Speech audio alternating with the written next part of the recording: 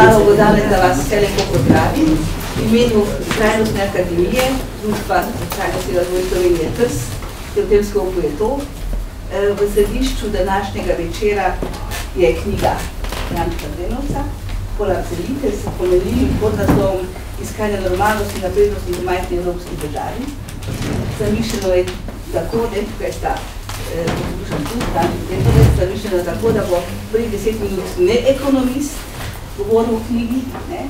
potem bo Franček Delovec postavil knjigo, ko ste bi rekli pol ure, na nek način, ne da bi to bilo, potem pa bi sledila razprava, tri minute za razpravljalca, da bi nekako enkrat okrog 8 ure končali, kar je seveda mnogo premalo časa za ta pogovor in ta večer, ki bo poseben in drugačen, ki bo nekako namenjen nam, ljudem, ki smo pripravljeni ne, uh, zavrniti, kar je nespremljivo, so ustvariti drugačen svet, drugačne razmere, tako da nekako v enem miru v sebi pričakujem eh, vajni pogovor, ker to sta dva človeka, ki poznata, predlagata, razumeta spremembe, ki so potrebne. Ne. In spremembe so potrebne, ta analiza stanja v Sloveniji, ne, Frančka Denovca je tako jasen, da kar obsupneš. In, in, in to, kar je ko pomembno v tem času, je, da so tudi odgovori na to, kaj spremeniti. In zato gre za odgovore, kaj spremeniti, to je veliko tega spremeniti v tem duhu iskanja normalnosti in naprednosti v majhni evropski državi, pomenljivi pod naslov.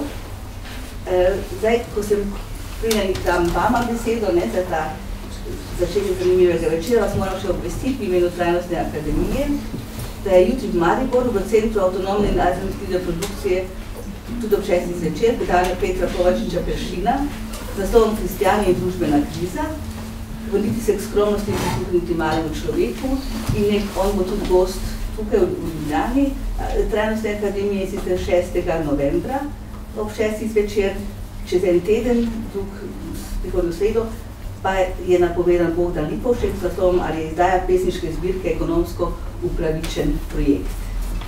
To so vabila za naprej. Potem vas pa še opozarjam, izjavo društva Gibanje stranke za trajnostni razvoj TRS.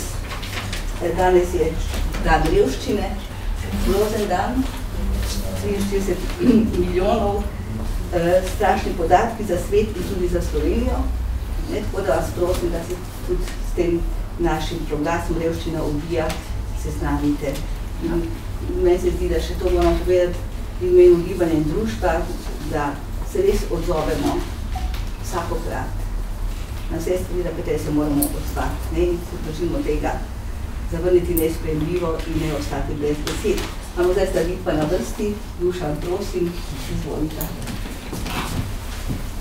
Lepo zdrav in v pričakovanju ustvarjalnega, verjetno tudi polemičnega večera. Dovolite, da najprej v desetih minutah sem se kar napisal, če ne bi bila zadeva predolga, stavim, tako kot je Gabi rekla, pogled neekonomista na to knjigo.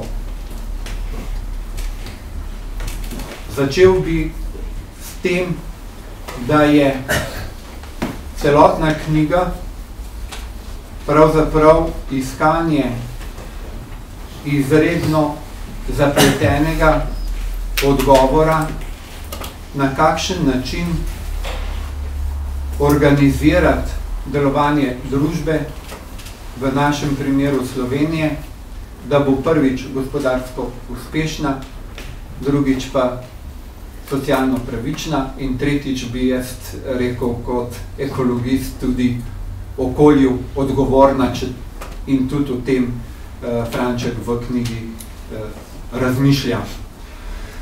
Knjiga je sestavljena iz posameznih člankov in spletnih prispevkov od leta 1989, to je tisto ključek, drugače pa od leta 2003 do leta 2013.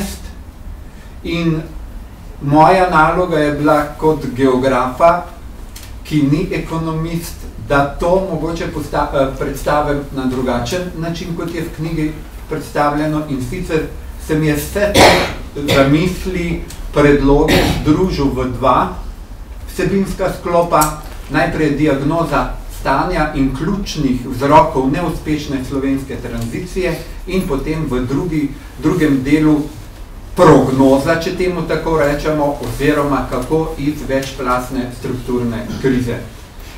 Uh, če začnem z diagnozo stanja, bi rekel tako, da je treba tukaj uh, knjiga podaja dva, dva prostorska ukvirja, eden je širši, globalni oziroma evropski in drug je slovenski. Širšega bi povzel samo z dvemi tezami, jih je več, ampak vsega se ne da povedati. Torej, Franček upozarja, da je v Evropi uveljavljen koncept povečevanja konkurenčnosti v narekovaju na račun opuščanja unikatnega evropskega civilizacijsko-obetavnega modela blaginja oziroma socialne države izrazito obrambni koncept, ne pa dolgoročno uspešen razvojni koncept. To se mi zdi zelo pomembna uh, izhodišna točka. Evropska unija je v nasprotju z svojimi cilji ob nastanku in tudi kasneje v tem trenutku postala trnjava finančnega kapitala za ohranjanje njegovih interesov in dobičkov, je na oltar žrtvovanja postavila model blaginje in socialne države. To je prva ključna teza. Druga, ki je za zame tudi zelo zanimiva, z več vidikov, gospodarska paradigma, v kateri so razvite zahodne države poganjale svojo gospodarsko oziroma materialno rast in družbeni napredek v 20. stoletju je dokončno po njegovem mnenju odpovedala. Tradicionalna realna ekonomija več ne deluje, svet je ponovno v dobi velike preobrazbe. Vendar protikrizne politike vodijo prav tisti ekonomisti in finančniki, ki so krizo zakuhali, čeprav je jasno, da so stari, načina, re, stari načine reševanja sveda odpovedali. In teze za Slovenijo. Prva. Slovenija, za Slovenijo je bilo prvo obdobje tranzicije, prvo desetletje zgodba, pravzaprav zgodba o uspehu skoraj polna zaposlenost, evropsko nadpoprečna gospodarska rast s pomočjo domačega kapitala, delujoča socialna država brez primankljajev in zadolževanja vse do leta 2005. Sodi, da je Slovenija v razliko od vzhodnoevropskih tranzicijskih držav vstopila v tranzicijo z že preizkušenim izvoznim sektorjem. In to je tista ključna razlika. Slovenska primerjalna prednost pred drugimi takratnimi jugoslovanskimi republikami je bila naša sposobnost, da smo razvili kakovostno industrijo in izvažali na zahod. Točka 2. Dobesedno njegove besede. Po letu 2005 je šlo vse dobesedno k vragu. Tranzicijski vzorec rasti, v oklepaju gradbeništvo, domače narekovaju gospodarstvo, tehnološko in razvojno pasivni sektor storitev se je izpel. K rasti in napredku je največ prispevalo intenziviranje dela, potiskanje značilne marljivosti slovencev že v območje garanja. Prispevek resničnega tehnološkega napredka pa je bil skromen. Točka 3. Ključna. Po mnenju Drenovca je slovenski izvirni greh in vzrok krize ne socialna država, ne model blaginje, temveč velika zadolžitev, plenilska in nepoštena privatizacija, sistemska korupcija in s tem povezane deformacije gospodarstva zlasti v letih 2004-2008. Obenem pa tudi vse večja tehnološka zaostalost gospodarstva, prenapihnjeno gradbeništvo in nastali predimizionirani privatni sektor za domačo potrošnjo, pa tudi tehnološko in razvojno pasivni sektor in premalo inovativno visokošolsko izobraževanje, skratka vse to ne zagotovilo prepotrebnega gospodarskega razvojnega preboja. Nove slovenske, tako imenovane tranzicijske oziroma neoliberalne elite, ki so nadomestile nekdanje socialistične, v oklepaju zelo zanimivo, pliven in praviloma in praviloma sposoben sloj sektorjev velikih državnih podjetij z 8 let, so se v povezavi s politiko prisesale skoraj izključno na tehnološko in upravljansko nezahtevni in mednarodno izolirani v narekovaju domači sektor, kjer je tudi glavnina državnega kapitala. To so državni monopoli v infrastrukturi, gradbeništvo, pivovarstvo, hotel, hotelirstvo ter mešetarjanje z zemljišči in nepremičninami, pa tudi s financami. Ljudje, ki jih v tem trenutku v Sloveniji uvrščamo v vrhne narekovaju elite, vedno elite v narekovaju, niso po mnenju Drenovca naredili nič konkretnega, nič konkretnega ustvarili, samo požrli so vso dediščino in nam postili svoje dolgove, njihovi ničvredni imperiji so propadli in za seboj pustili tisoče brezposobnih in unižanih delavcev. Za nove Slovenije neoliberalne elite je bistvo kapitalizma lastnina nad proizvodnimi sredstvi. Katastrofalna napaka meni Drenovec. Bistvo sodobnega kapitalizma je ustvarjanje v Sloveniji pa bojevanje za lastnino, ki je prineslo katastrofične posledice. Prognoza. Točka ena. Velja počrtati, da je za preživetje v novi svetovni ureditvi dela bolj kot kapital pomembno obvladovanje tehnologij, uporaba znanosti visoko izobraženih delovnih kolektivov, to pa je zelo zahtevni in dolgotrajni, dolgotrajni večplastni proces. Drenovec sodi, da bi moral biti prvi korak sodobnih razvojnih politik dolgotrajno in obsežno vlaganje države v količino in predvsem kakovost izobraževanja, ki povzroči prepotrebno korenito preoblazbo poklicne, miselne in, in socialne sestave družbe. Pri izobraževanju je skoraj nemogoče pripisovati prioritete, poklicne in panožne. Ključna je kakovost izobraževanja na vseh ravneh. Zanimiv je ta primer, ko je finska vlada vlagala v univerze, je bila Nokia še nekakšno lesarsko podjetje če bi vlada silila šole, da izobražujejo zgolj za potrebe gospodarstva, bi bila danes videti Finska zelo žalostno, ugotavlja. Naslednja točka. Razvojni preboj Slovenije ne bodo omogočile tuje naložbe, čeprav Franček ni proti njim, temveč v oklepaju žal dolgotrajno, mukotrpno ustvarjanje lastnih inovativnih podjetnikov, inženirjev, obrtnikov, znanstvenikov, učiteljev in predvsem čim prejša tehnološka prenova gospodarstva in dvig produktivnosti, kakovostni javni sektor, pregledno delovanje pravne države, ustvarjanje resnično družbeno odgovorne elite. Jasno je, da mora biti motor slovenskega gospodarstva izvoz. Vendar je po njegovem mnenju neoliberalna redukcija vseh problemov na stroške dela, na stroške države, povsem nesmiselna, usmiranja torej na zahtevo zniževanja plač in zniževanja javnega standarda. Brez nadaljnega, po njegovem mnenju, moramo podpreti zahtevo sindikatov o ohranjenju minimalne plače, in takojšno se loti takojšne prenove gospodarstva in industrije in zno dvig dodane vrednosti s pomočjo seveda vse večjega znanja zaposlenja. Torej, brez dviga dodane vrednosti eh, kolega Franček absolutno ne pričakuje, najbrž se s tem strinjamo upravičeno, da bi lahko imeli kakovostno, socialno državo, kakovostne sektorje od izobraževanja do zdravstva. In to je ključna naloga, ki jo dosedanja tranzicijska elita pravzaprav ni upravila.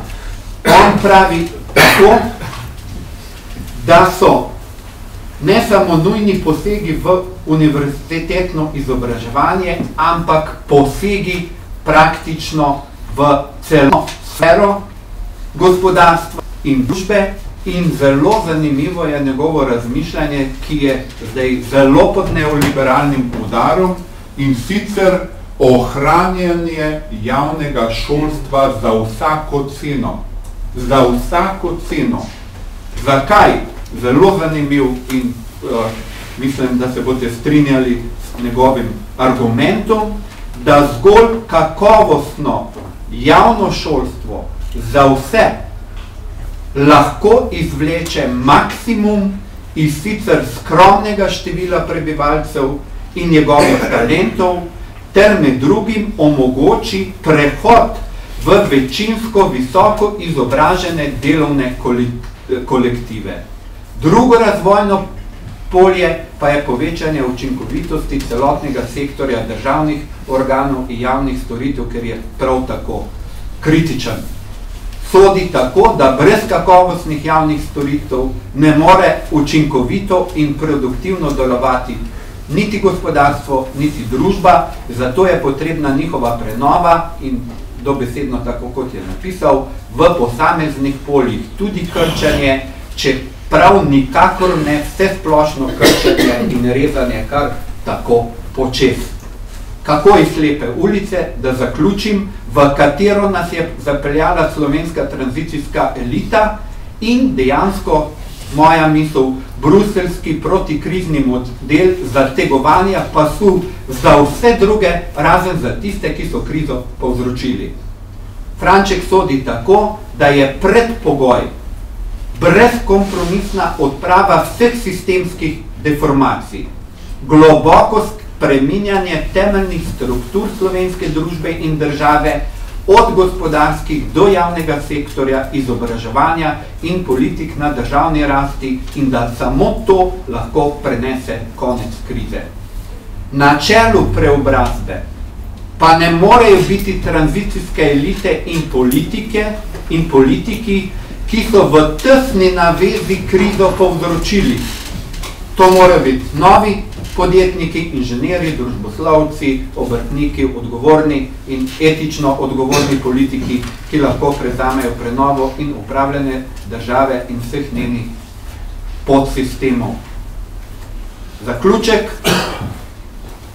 Priča smo bili 30-letni tehnološki stagnaciji slovenskega gospodarstva. To je njegova prva ključna misel. Drugič, zmanjševanje produktivnosti gospodarstva in javnega sektorja. Zato potrebujemo pravi prelom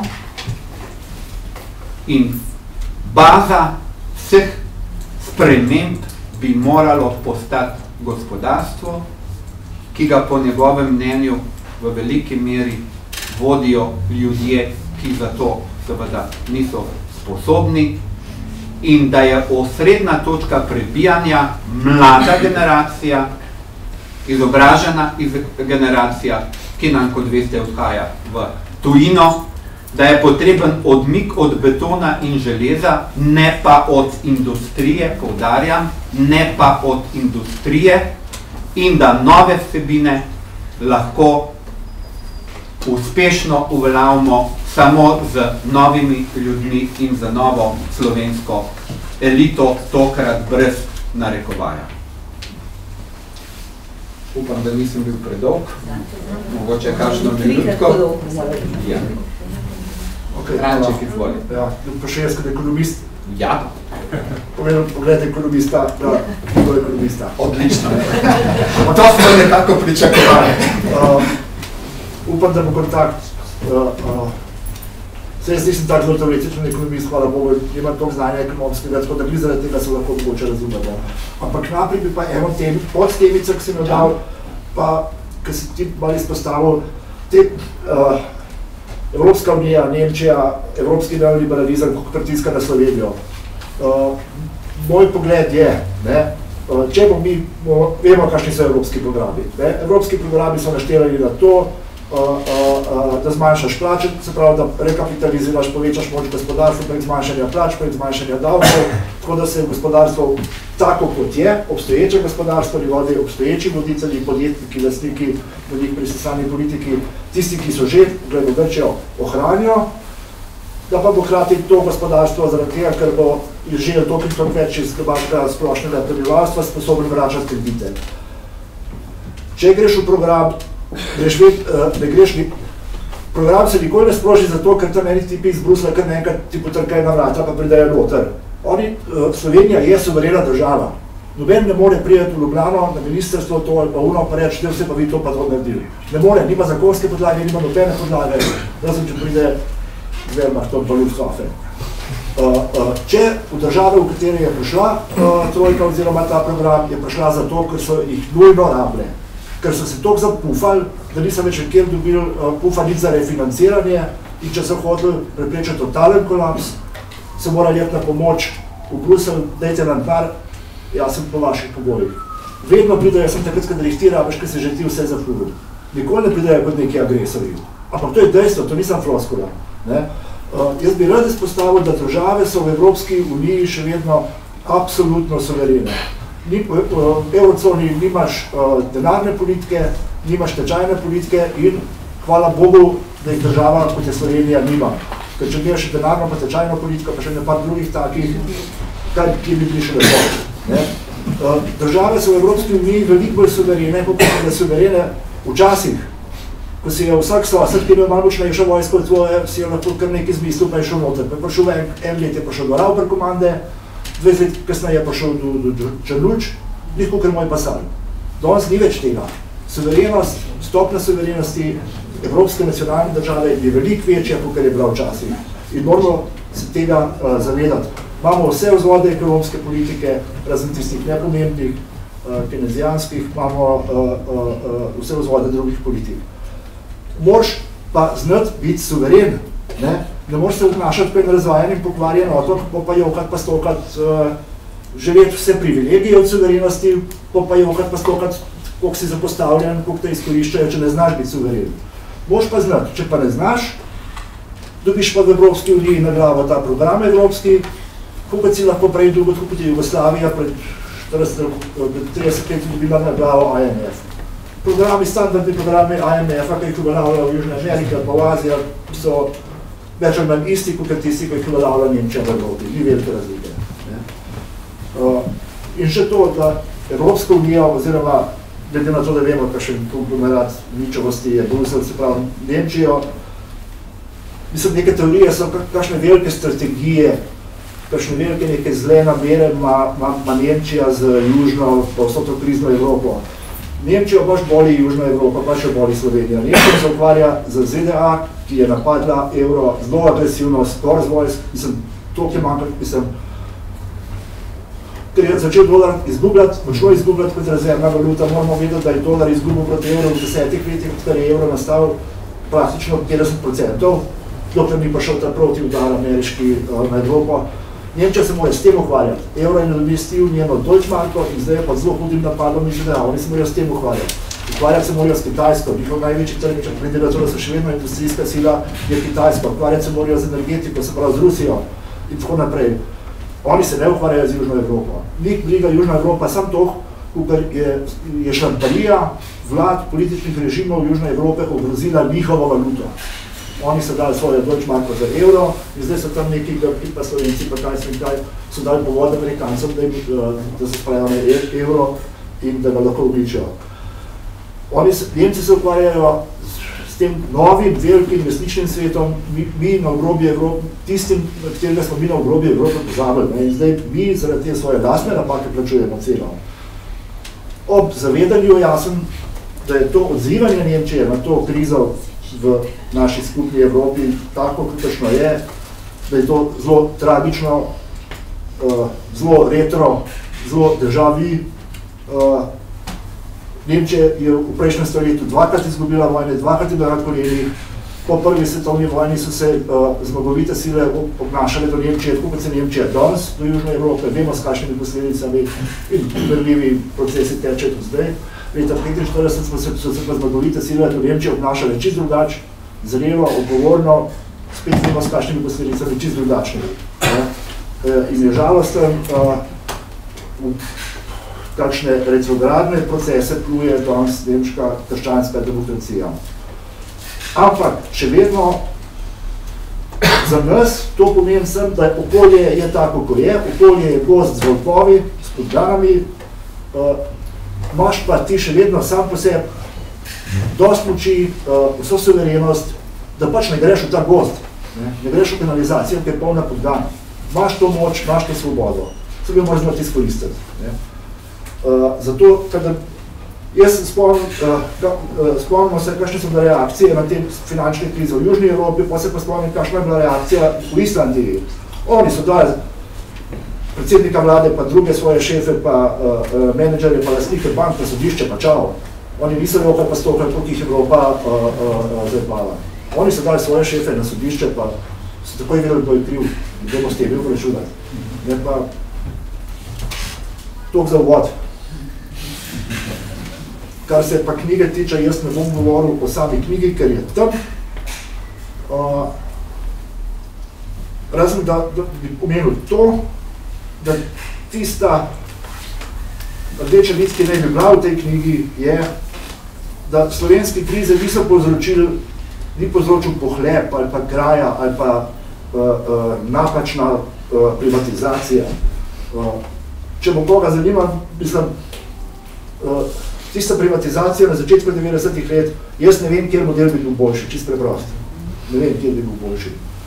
Uh, uh, slovensko krizo je povzročila degeneracija zelo temeljnih, produktivnih, ekonomskih, socialnih, ideoloških struktur. S tem se moramo ukvarjati, ne pa s pohlepom, pa s privatizacijo, pa uh, uh, s krajo uh, in tako naprej. Ne. Uh, to je mogoče bi moralo biti staglavno sporočilo uh, te knjige. No? da je treba razmišljati, se zamisliti, je to analizo. Uh, drugo je, ko nastopaš kot politična stranka proti javnosti, moraš nastopati s floskolami. Zase moraš pa analizo, moraš pa razmišljati, moraš vedeti, moraš probati razumeti. Ali, kot rečeno, o tem ne bomo govorili, jaz bom za, za, za nocoj, sem si pripravil uh, sem en komentar o scenarijih prihodnosti, ki so v tem času aktualni in na misli v Sloveniji. Jaz sem ekonomska plast, jaz ne moram govoriti o drugih. Kot prvo, kakšne, kaj je bolj mnenje, jaz sem ne, ne kakšne so, bolj mnenje o prevladujočih idejah levice in ali izven parlamentarne opozicije, ne, ki je edina opozicija v Sloveniji itak. Ne, in bi bilo dobro, da bi se tega zavedali, da je edina. Ne, da se to vemo, da pa ne nekaj provocije kakšne so prevladujoče ideje te levice ali pa opozicije v ekonomski sferi. Prvo, s čemer smo se prisiljeni na tej sceni ukvarjati je z uh, uh, vizijo, da ne bo javni deficit, ne se država še naprej zadolžuje in da bo na tak način potiskala rast, ker edin z rastjo se lahko tudi drugi problemi rešujejo v ekonomskem kolapsiranju ne može reševati nobene probleme. Se pravi, če hočemo vzdrževati rast, rast, tudi v tem umestnem obdobju, ko je treba predvsem sanacije izvajati, naj, bo, naj se vzdržuje na ta način, ki je edin mogoč, naj se država zadržuje, naj se ohranja javni deficit, ne na silo zapirati javnega deficita, zato ker to hočejo nas neki evropejci. Ne? Torej, Jasno je, da zmanjševanje javnega deficita, zapiranje javnega deficita ubija gospodarsko rast, zmanjš, uh, povečuje brezposobnost in tako naprej. In do leta, po, po krizi, se pravi leta 2009 do 2011, se je prav zato, ker se deficit javni ni zmanjševal, se je gospodarska rast še ohranjala in je bila približanje tekel štric za rastjo v euroconi. Ne. Uh, kar je pač, takrat je Eh, zasebni sektor je utrpel izgube, pokazali so se vse šibkosti zasebnega sektorja, tržnega sektorja, raj rečem kot zasebnega, eh, in bolje vstopila država s svojo porabo prek javnega deficita. In je na ta način še ohranjala rast. In dejstvo je, da od začetka leta 2012 naprej, ko se je začel zmanjševanje deficita, da takrat je pa še slovenska gospodarska rast kolapsirala in je brezposobnost eksplodirala. To so vse dejstva. Po drugi, se pravi, javni deficit vemo, kakšen učinek ima. Po drugi strani Se pravi, je fajn, se sliši fajn, dajmo prenehati zmanjševati deficit ohranjega, ne, pa bo, pa si bomo dobili interes period, da ne par let, v katerem, bom, v katerem bomo lahko na elegantni način rešili naše probleme. Ampak je neka meja, da kdaj, skoliko časa se lahko s temi parametri makroekonomskimi igraš. Če hočeš ohraniti javni deficit, se moš, se pravi, zdaj je okoli 4% GDP-a, to je na ravni okoli uh, uh, milijardo pa pol letno, ti se moš se pravi nov zadolžiti vsak let v tujini za milijardo pa pol, poleg tistega, da moš revolvirati stare kredite, se moš še dalov zadolžiti, teh kreditov ni več.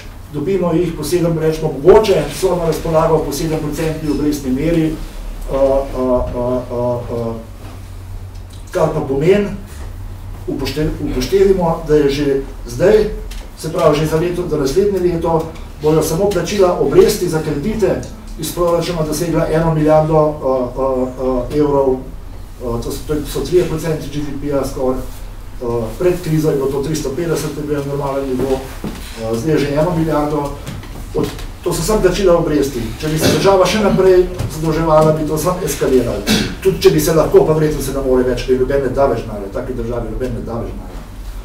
Uh, uh, skratka, ena milijarda sem za obresti, odplačila glavnice po obrestni meri, kateri se mi izposojamo, če se zadolži za eno milijardo za nekaj let, bo šlo po teh desetih letih let vrnil dve milijarde. Mislim, to toliko eskalira, da tudi če nam da kdo denar še, je njegovo vračanje tako prohibitivno, tako destruktivno, da preprost tega špila z javnim deficitom ni mogoče ohranjati.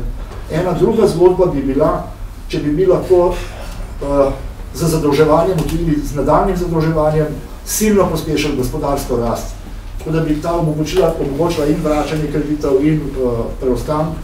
Uh, uh, uh, ampak uh, pri gospodarstvu v slovenskem, kakršno je danes, tega preprost ni. Ne. Videli, mi smo se zelo zadolževali v tistem obdobju 2005-2008 in vidimo takšne katastrofalne posledice in to prenese uh, to, to, kar se zdaj dogaja. Mislim, Slovenija se uh, jed politike ohranjanja deficita ne more več jed čist objektivno.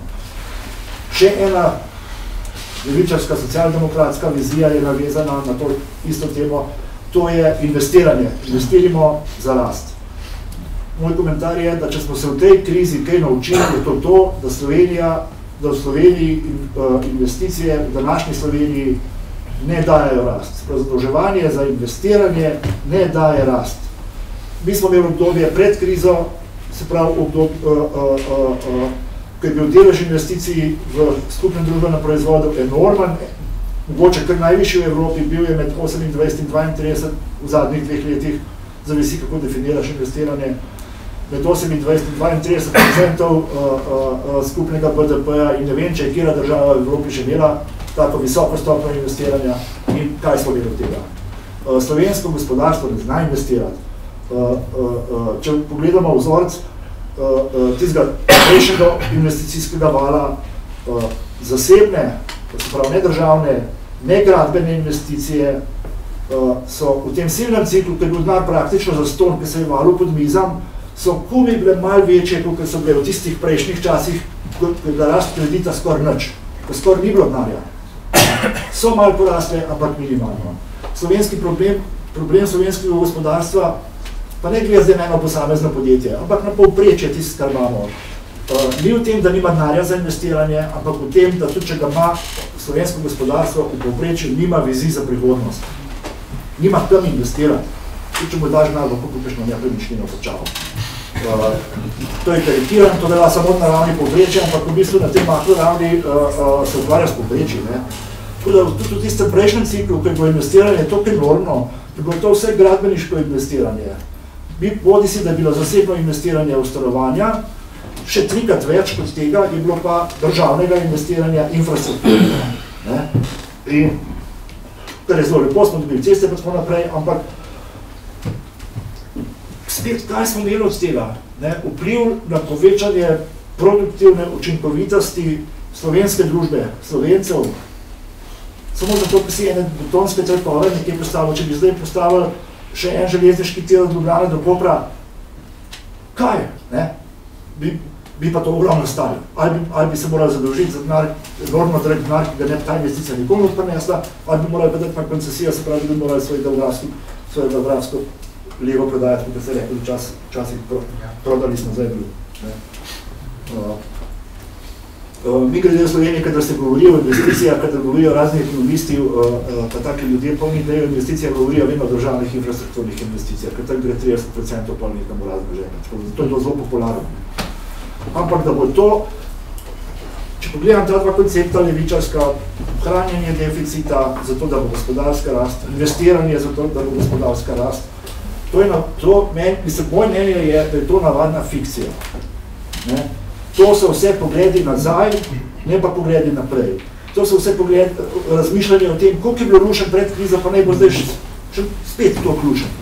Niso pa razmišljali o tem, kaj narediti drugač, kot je bilo prej, da bomo nekaj naredili. Ne? To, so, to so obnašanja in razmišljanja, ki so ti zapravo povzročila. Uh, v zadnjem so te vulgarizir, zelo vulgarizirani kenezijanski recepti, ki v, glavnem obvladujejo tudi drugo evropsko uh, tole socialdemokracijo, uh, drugi uh, tak značilen evropski socializem z, spet vemo, kakšni rezultati. Ne?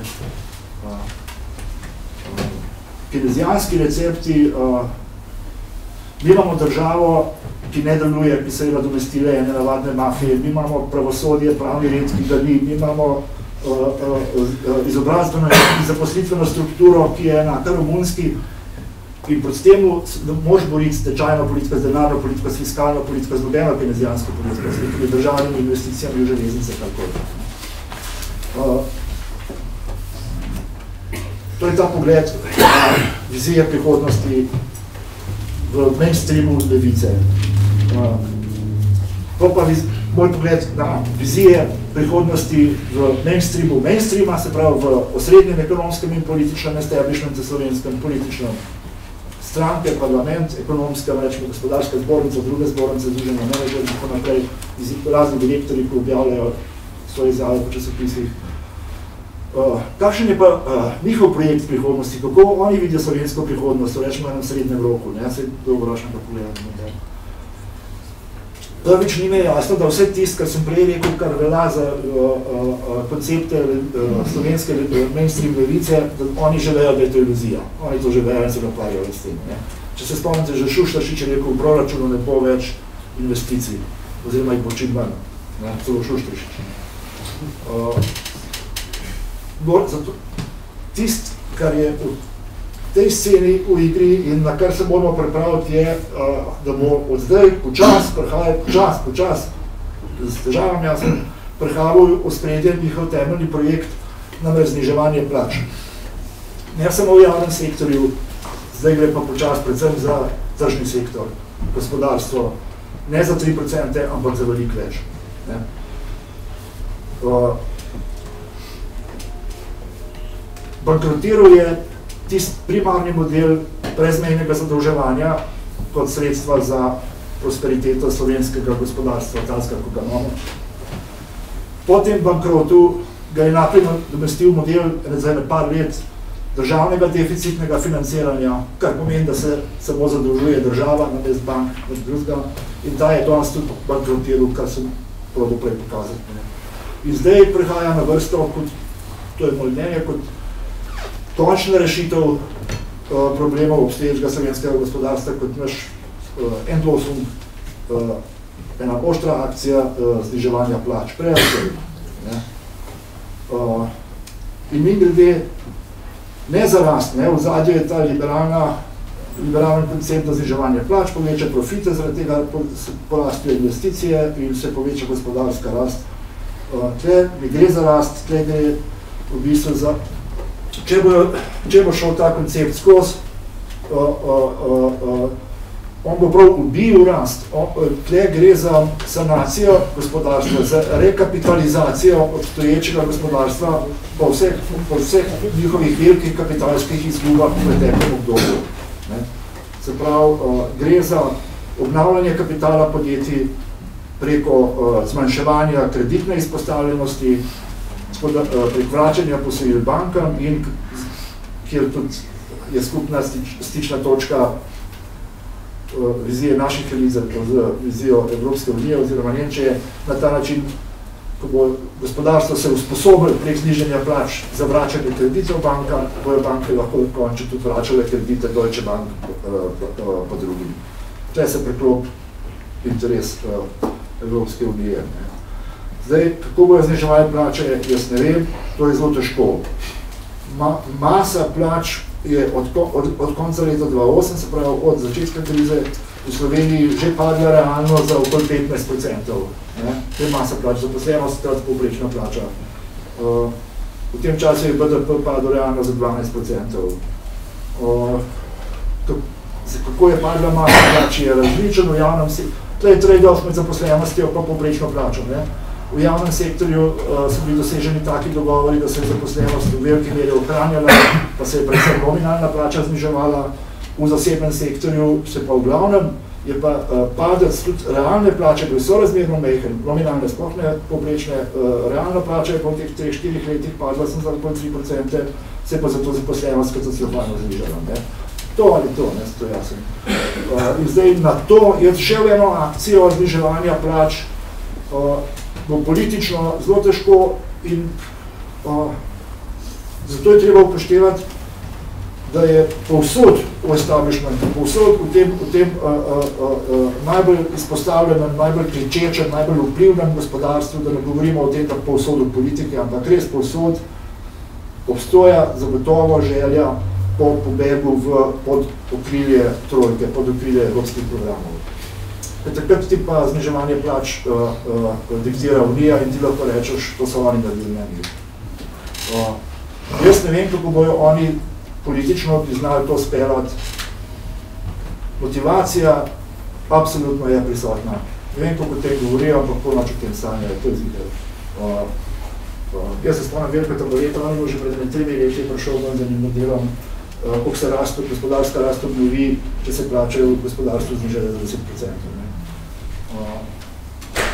In zato bojo uh, verjetno iskali okrilje trojke. In se spet vrnemo na tisto, en moj light motiv. Iz meseca v mesec so stvari v Sloveniji bolj podobne stvarem leta 41. Uh, v leta 41 je kolaps elite domače šel toliko daleč, da na konc slovenska država, slovenski establishment, Eh, slovenska pravna država, edino preostala slovenska pravna država so bili slonček fizlingi in pa kolaboracionisti. Ne, jaz sem uh, kot fašisti. Ne. In jaz mislim, da še nismo tam, je pa to uh, uh, absolutno edini delujoči trend. Ne. Uh, in posel opozicije ne, bil jasen, da ta uh, trend obrne. Uh, obrne ta trend pa pomeni uh, situacija je zelo resna, ne? Uh, mi se ne smemo obnašati, kot se naši politiki obnašajo. Uh, v, v slovenski politiki, v slovenskem parlamentu, v slovenskih političnih strankah, jaz ne vidim, mogoče, mislim, lahko je odnos tudi diferenciran, sem nekaj napisal, ne? ampak v, v glavnem, oni sploh ne vejo, da so odgovorni za to državo. Oni vzamejo, da država itak je, država itak nek dovod, včasih je vodil Tito, ne, prej je vodil Cesar ali kralj, eh, državo itak nek dovod, jaz sem tle v politiki, sem zato, da še kaj zase izborim, ne, ali za svoj žep, ali za svojo panogo, za energetiko, za kogarkoli. In jaz mislim, da tudi pogled iz opozicije je včasih podoben. Sej država deluje, sej te glavne stvari so pošlištane. Jaz pa zdaj sem še eno idejo, kako jo izboljšati. Kako narediti to državo malo bolj, kaj svem kaj, moderno, malo bolj, kaj svem kaj. Ni res, razpadajo sami temelji eh, organiziranja državljanov Slovenije kot skupnost. Ne? In če mi ne zagrabimo po teh temeljih, po, po, po tem razkroju produktivnih, ekonomskih, socialnih, ideoloških struktur uh, uh, uh, Slovenije kot države čez, čez deset let malo več. Ne?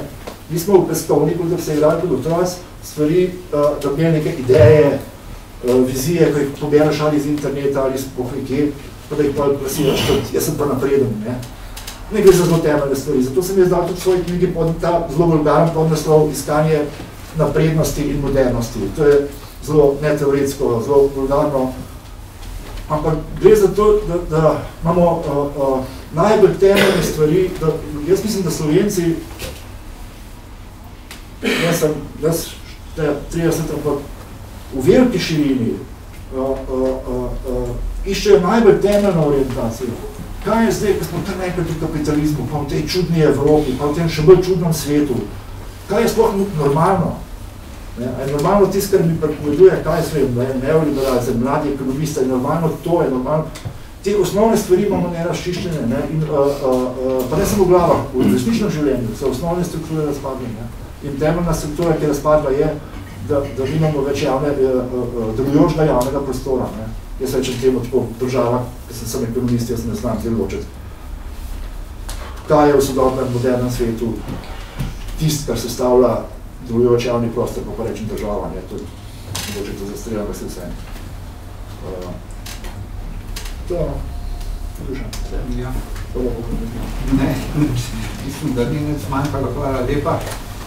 Zdaj bi pa kar prosil za razpravo, za razmislek, vprašanje avtorjev knjige, tudi izmenjavi med sebojnih mnen, pa vas bi res lepo prosil, da niste predolgi, tako da bomo čim bolj ta čas izkoristili, koliko je urce, da bi okoli sedem, tako da je čisto v redu, mislim, da, da je v redu, tudi časovno, pa vas kar pozivam k razpravi, razmisleku. Tema je zelo, zelo izdevalna. Franček lahko še kaj pojasnil, kar mogoče je bolj obrobno bilo povedano ali pa tudi. Predvsem bi bilo mogoče, če dovolite, da vsi skupaj malo razmislimo, kako naprej. Ne? Kar analiza stanja, kot vidite, nam grejo kar dobro od rok. Iskanja vizije in konkretnih rešitev nam gre pa zelo, zelo slabo na vseh področjih. Od moje fakultetnega razmišljanja do podjetij. Kriza, res, kriza. Prosim. Jaz bi imel Ja. Na kakšen način... Vsakega bi prosil, če se Torej, predstavi. Ja. En manjši podjetnik. Zanima me, na kakšen način bi drugo leto zaposlili vse 5000 ljudi v Sloveniji. Kako? Da noben. Mislim, o, o, o, o, ni kratkoročnih rešitev. Ne? Zdaj, jaz v mojih razmišljanjih pobegnem v razvojne probleme, v dolgoročne probleme. Noben nima rešitev, kako bi povečal zaposlenost. Mislim, s kratkoročnimi politikami pa lahko narediš, da bo uh, drug let, uh, da se zaposlenost ne bo zmanjšala za 25 tisoč, ampak samo za 15 tisoč, to lahko dosežeš. Moram reči pa, da ni glih to moj področje. Ne. Ed, eden, od, eden od pristopov je siguren, kako se vodi fiskalna politika. To je zelo važno. Tako kot se je vodila Svetlik, pa Štuš Šuštašič, to je uničil gospodarstvo. Ubil je kupno moč. Mislim, radi, bi smo gledali krivulje, prej je šla krivulja slovenske rasti do konca leta 2011, še usporedna z krivuljo Eurozone, pol je pa se oblepla in mi smo izgubili v letu pa pol, ko sem zanj to računal, en tisoč evrov, en tisoč milijonov, sprav eno milijardo evrov potencijalnega družbenega produkta, zaradi tega, ker se je sanacija fiskalna izvajala na način Svetlik Šuštašič, ki je izključno rezala porabo, rezala je dohodke v glavnem revnejših slojev prebivalstva, katerih dohodki grejo v celoti v porabo in so najboljša kupna moč za Slovenijo. In takrat bilo stečaj bankrotov ogromno. Min glede bi, bi rekel, to je izven konteksta velikega razmišljanja, uh, uh, letošnja vlada, to politiko, ko je vodila preko obdavčevanja, pa je vodila zelo okorno, evidentno, ker nisem bil pripravljen, ta bo povzročila veliko manj škode gospodarstvu, veliko manj škode za poslovanju, ker bo jemala iz v, v veliki meri iz tistih delov dohodka, ki grejo sicer v vrčevanje in uh, ne ubijajo domače popraševanje. Ne? Če greš pa izključno na zmanjševanje penzij, uh, uh, zaposlenosti v javnem sektorju in tako naprej, pa silno uh, uh, uh, ubijaš zaposlovanje, aktivnost. Uh, in edini razlog je, da se tako dela ideološki, je neoliberalen. Neoliberalen princip je, državo je treba čim bolj ubiti, čim bolj odstraniti, popustiti, čim več svobode prostora zasebnemu sektorju. Ampak slovenski zasebni sektor, prostite, jaz mu ne želim dati čim več prostora. Vam ja, ogromno podjetjem ja, ampak v povprečju ta, to, kar danes mislim, videli smo, kaj se je zgodilo, ko je imel veliko prostora v letih 2005-2008. Denar se je valil pod mizo, vse je bilo frej, vse je lahko počel, kaj shotel. Uh, uh, za enega, uh, mislim, tist, kar je treba narediti, je spremeniti gospodarstvo tako, da boš ti še vedno, da boš ti lahko dosegel rezultate z delom, z znanjem, s podjetnostjo. Danes slovensko gospodarstvo ni tako. Ne? Uh, in mi glede, jaz ne vem, meni se tako, za malo se mi zdi včasih, kako jaz ne vidim diferencijacijo znotraj gospodarstva. Ljudje iz kvalitetnih firm, ljudje propozivni, pošteni podjetniki, tulijo v isti rok s temi lopovi iz energetike in tako naprej. Češ mi smo gospodarstvo, ni res. Oni vas pljačkajo, kot da se vrne vidite. Ne, ne država. Ne. Uh, uh, morajo biti kratkoročne politike, ki gledajo tudi na drugi let, jaz se ne spoznam najboljš na njih, razumeli par to, kar sem zdaj rekel, kako obrniti fiskalno, se pravi to zapiranje proračuna. Uh, mislim pa, da so to vse, če imaš samo to, je to samo more. Dokler ti ne začneš strukturno spreminjati, uh, uh, uh, uh, uh, Lejte, uh, naprimer, v mojem konceptu je, da absolutno ne sme priti do zmanjševanja plač. Se pravi, naprimer, konkretno, kaj to pomeni čisto operativno, minimalna plača mora biti zaščitena in indeksirana. To bo povzročil veliko škodo v gospodarstvu, v tem ni dvomo, dvoma. Velik podjetij bo zaradi tega propadalo. Podjetja, ki sicer ne bi, če bi se znižala plača. Ogromen slovenskih podjetij, če bi bile slovenske plače tako, kot so romunske, bi ogromen podjetij preživel, čeprav je vprašanje, oni, ki živijo od domače porabe, bi pa crknili. Ne?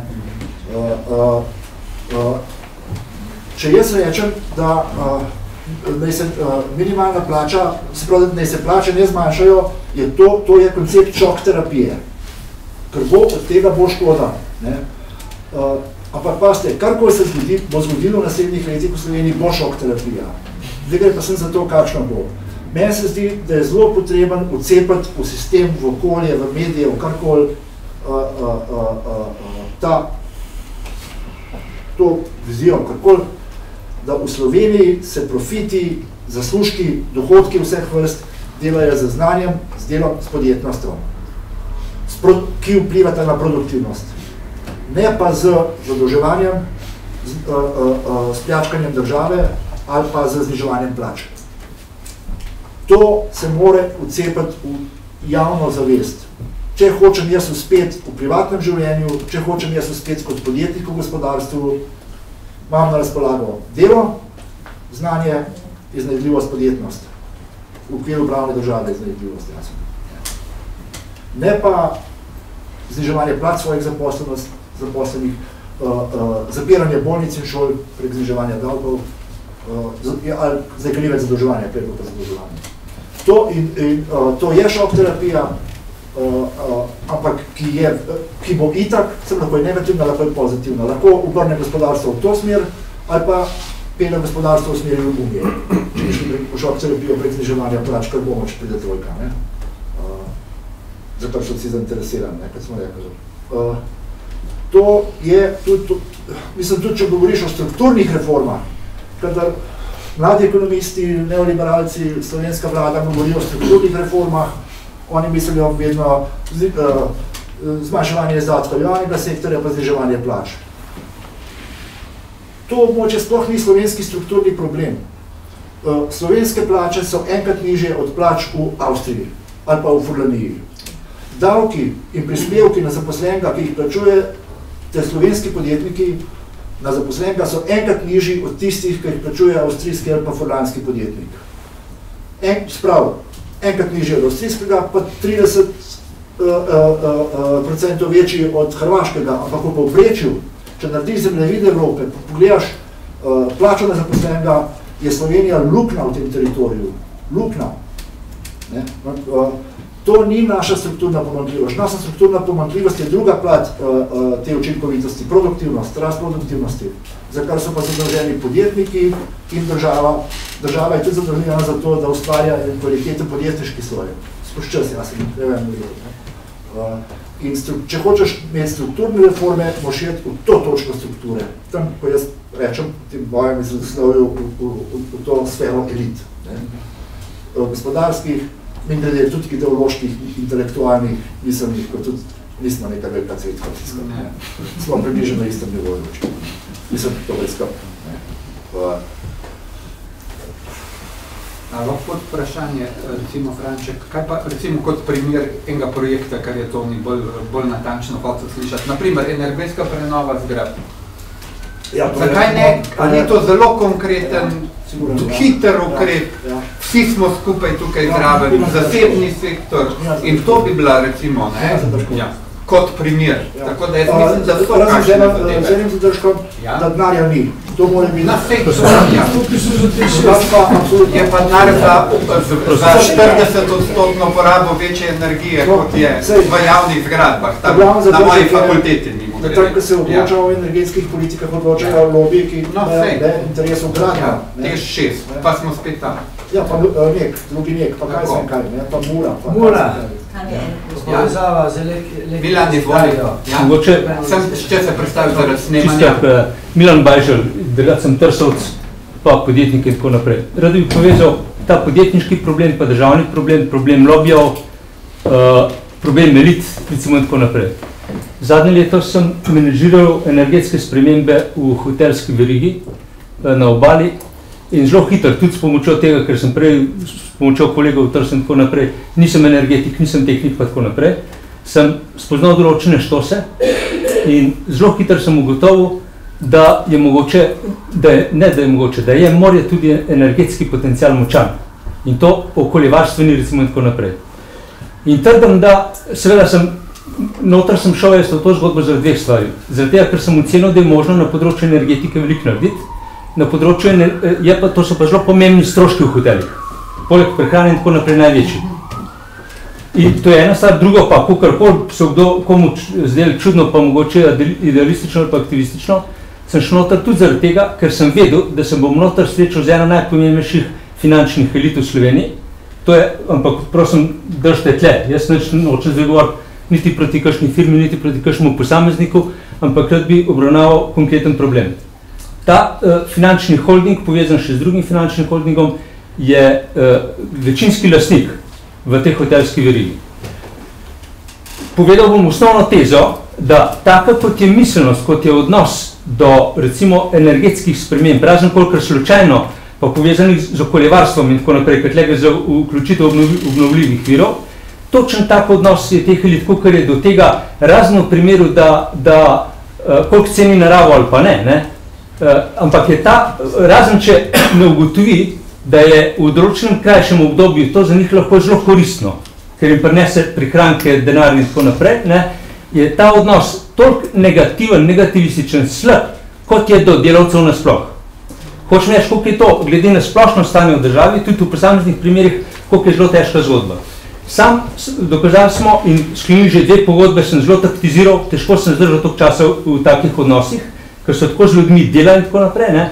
Vemo pa, da je turizem zelo pomemben od tega, kako imaš domače ljudi vključene, domačo prehrano, pa ljudi moraš dobro plačati, recimo tako naprej, če hočeš dobro delati. Ne? Ampak edin stavk celotnega koncepta, ki sem ga skozi poslušal v upravi in tako naprej, je bil zniževanje stroškov dela. In tudi, kdo je bil pozoren v početrtku na tem srečanju turistov, kaj je glavno sporočilo o pozitivnih rezultatov turizma v zadnjem obdobju? Zniževanje stroškov dela. Na to pa na konkretnem primeru odgovorim naslednje. Da tle sploh ne rabimo denarja. Tudi smo se skoncentrirali na te energetske, se pravi, gre za upeljavo toplotnih črpalk morje voda, gre za več kot 30% prehranke. Naprimer, na te, v tej skupini hotelov, ko delam, so dve pogodbe sklenjeni, še ena pred podpisom. Upam, da jo bojo podpisali, ker smo zdaj prekinili pogodbe, ker smo naredili konflikt. Uh, a ne, gre za ranga 4 milijone prihrankov v desetih letih, se pravi 400 ur letno prihrankov, kar pomeni, da že takoj, ko podpišem pogodbo, že naslednji mesec plačujem nižje stroške za, en, za energetiko, tudi če upoštevam vnaprej stroške investicije in uh, energentov, proti samo stroškom energentov, energentov odprej.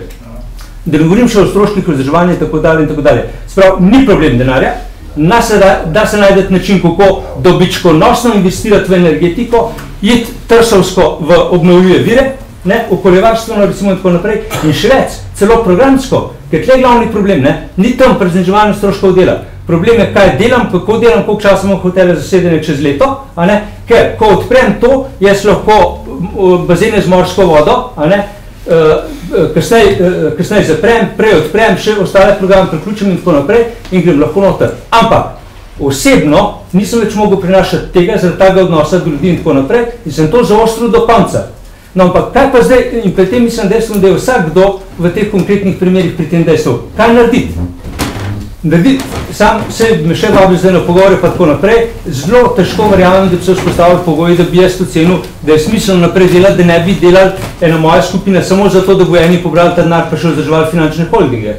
Problem je v finančnih holdingih, ne, v, uh, vse, v, v tej družbi recimo v dveh letih šlo 17 milijonov evrov ven v finančne holdinge, vzdrževanje tega te, stranja, te strukture, letna amortizacijska stopna, letna amortizacija je 5 milijonov, naprimer, ne, in, uh, in hoteli vsa ta leta v tekočem poslovanju, brez finančnega sektorja, uh, funkcionirajo tekoče pozitivno. Torej, kaj je treba narediti? Treba odstaviti elito in uh, dati prave menedžere na čelo in zadeva je narejena. Lastnik se je zadružil, pa zapufal nekje druge in zdaj vas je še ja, prava. Točno tako. Torej, paste, to je osebna dilema, kaj napraviti. Je to nacionalni preiskovalni urad, odpreti javno farko, a ne, s tem bo, ja, ja, pa kdo bo še pomagal, jaz ti gledam, ne, so, v filmi je bil odziv eh, za mene pozitivno, eh, presrečen sem bil na relativno pozitivno odzivom ljudi, pogrečil, ampak še zmeraj ne vidim, kako bi zgradili nekaj enomoč, ki bi to spremljila znotraj in zunaj. A ne? ne da bi spravili za neko farko, ki je enostavno narediti, pa 14 dni so polni mediji, a ne? potem pa uh, dve let firma trpi, zaradi tega, se ne ve, kaj bi, pa vsi se bojijo. Hvala. So, to. Predem, boja, predem tebe. To, naprimer, to, to me spominja, ko ste rekel tist, kaj, kako oni razmišljajo, ne? Ja. Uh, sem zniževanje stroškov dela zniževanje. Ja. Oni, vidi, oni sebe dejansko dojemajo, kot da so že v Romuniji. Ker njihov od teh kvazi podjetnikov in tako naprej, uh, uh, horizont, domet je romunski in oni lahko preživijo, sem če so tudi plače romunske. Ne? A ne njihove? Kaj? Ne njihove, ne. No, zdržujejo se lahko še nekaj časa, a ne, dokler ne bojo ljudje res ostale, ne. Ja, nekaj, dokler so nekaj drugi. Je pa treba vedeti, na Romunija je privlačna za njih, ker elita uh, uh, v Romuniji je zelo dober, gre zelo dobro, še boš kot pri nas. Tako da za njih je Romunija zelo no, privlačen model in se trudijo, da bo uvedli. In še moment, še uvažanje tuje delovne sile in s tem zbijanje ja. cene lastne domače delovne delovcev, ne delovne sile. To je prvi neoliberalen princip, je omostove delovne sile. Vedno. Uh, pa, ja. A dovolj, sem še, še čutim dolžen ga. Uh, če boste spraševali, kaj narediti, da bo drug let zaposlenost porasla za 5000. Ne bo, če se karkoli zgodi. Ne bo, če je do zdaj eh, propadlo toliko podjetij, ko lam celo leto že. Ne? No, in drug let bo, ne vem kako bo, ja, ampak ne bo pa poraslo. To so podatki. Če vam kdo, to če vam kdo obljublja, da bo porasla, ne ga poslušati. Ker ne bo. Mislim, žal. In mi se moramo zdaj znati orientirati v situaciji, v kateri vemo, da je stanje tako ni, uh, ni lepote dobene. Ne? Ni, nisem jaz kriv, če bo, da bo tako. Bi reči, kaj bo optimističnega rekel. Ja,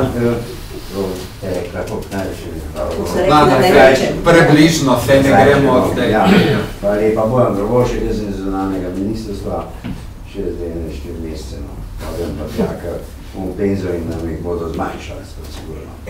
Prav, ja. Uh, malo zlatega prahu najprej. Zdaj, jaz mislim, jaz knjige cele nisem prebral, da sem nekatere tvoje članke, nekaj sinopsisov. In uh, zdaj, uh, ti se lotiš določenih zadev, ki se jih pri nas zelo redko lotevamo. Uh, seveda v enem kontekstu, ki je pa zelo širok, tudi malo eklektičen, sam veš, drugače mora biti. Je zato, smo zamudniki. Mi smo nacija, ki je to zbrali iz zgodovine slovenske ekonomike gospodarstva. Recimo, če smo že prvi. Smo zamudniki, recimo, zadeva, samo ne, ne sem nametom zadeve, nijamo zelene stranke, ne, recimo, ne, in tako naprej. Ti praviš naprednost, ne, to ta beseda se mi zelo interesantna, ko jo uporabljaš, no, mi so zelo zaostali. V marsičem, v svojem razmišljanju, kaj so elite, recimo imamo rekel po domač, trajamo nacionalizem 19. stoletja, mešamo nacionalni interes, tako tudi za lastne žepe, z drugimi zadevami in tako naprej. Ti si pravzaprav zelo pesimističen. Mislim v smislu, kaj se bo zgodilo, in sami tega ne vemo in to velja vse na, za, vse, za vse nas pravzaprav, ne za neko kolektivno zgodbo.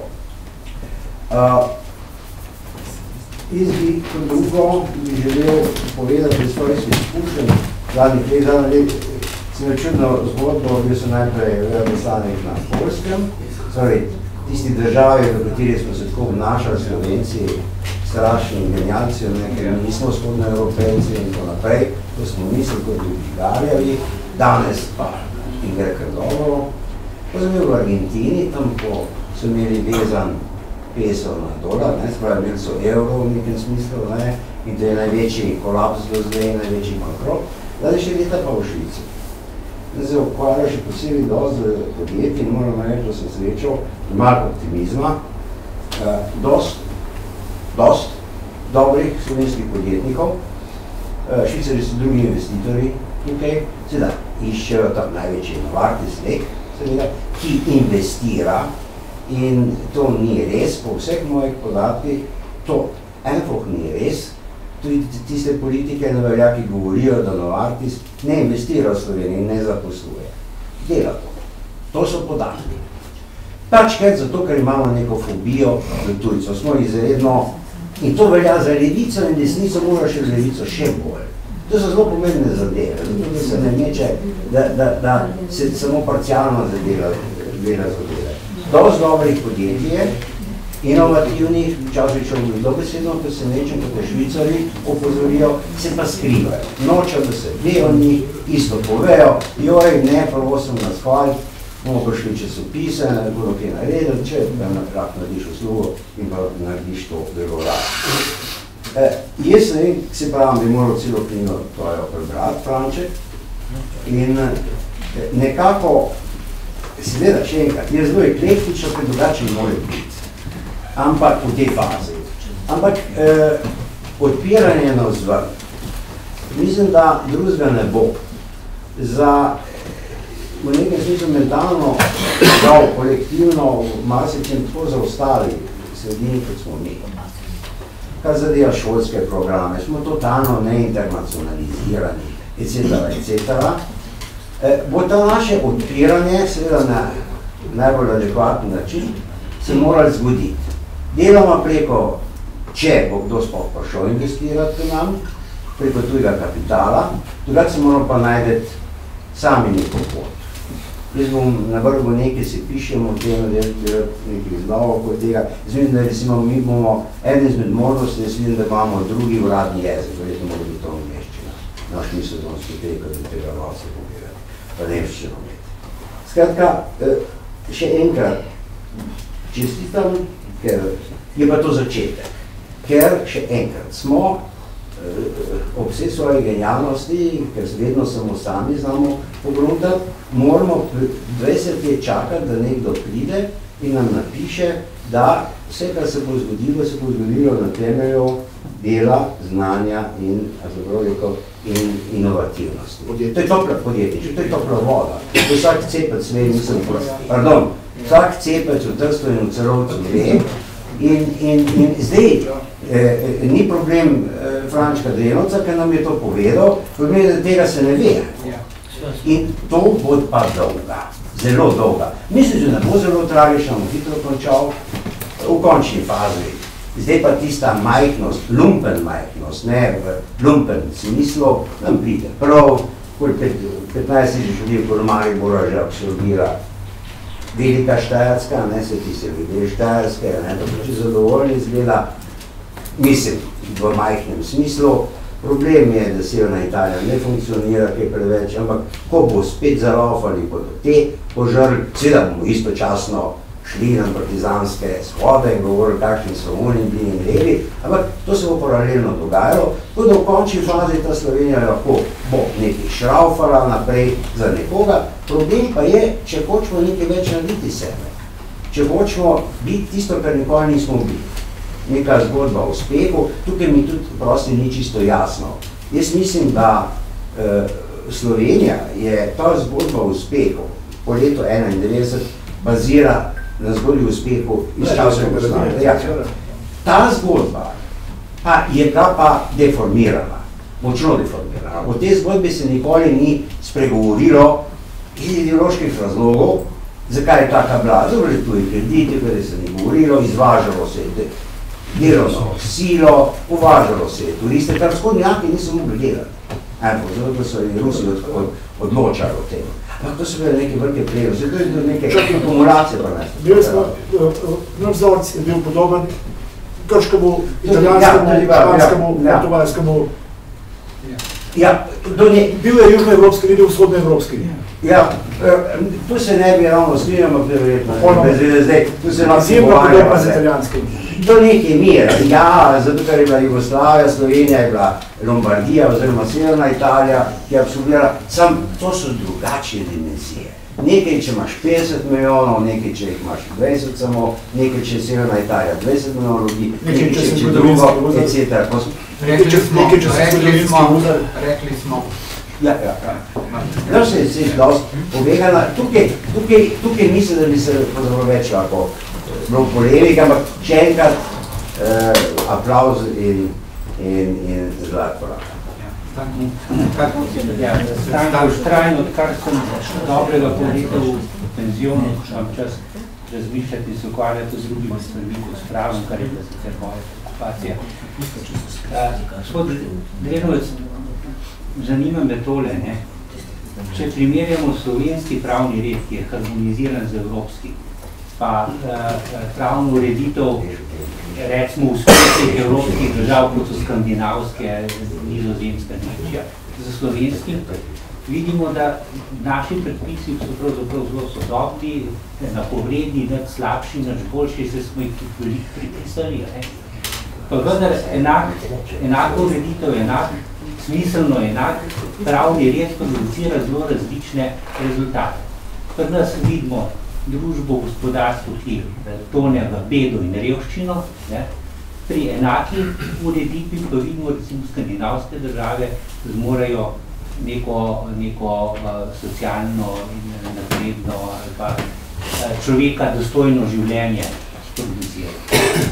No in druga stvar, prav pred kratkim sem gledal Lovčev film v uh, kinodvoru Duh 44.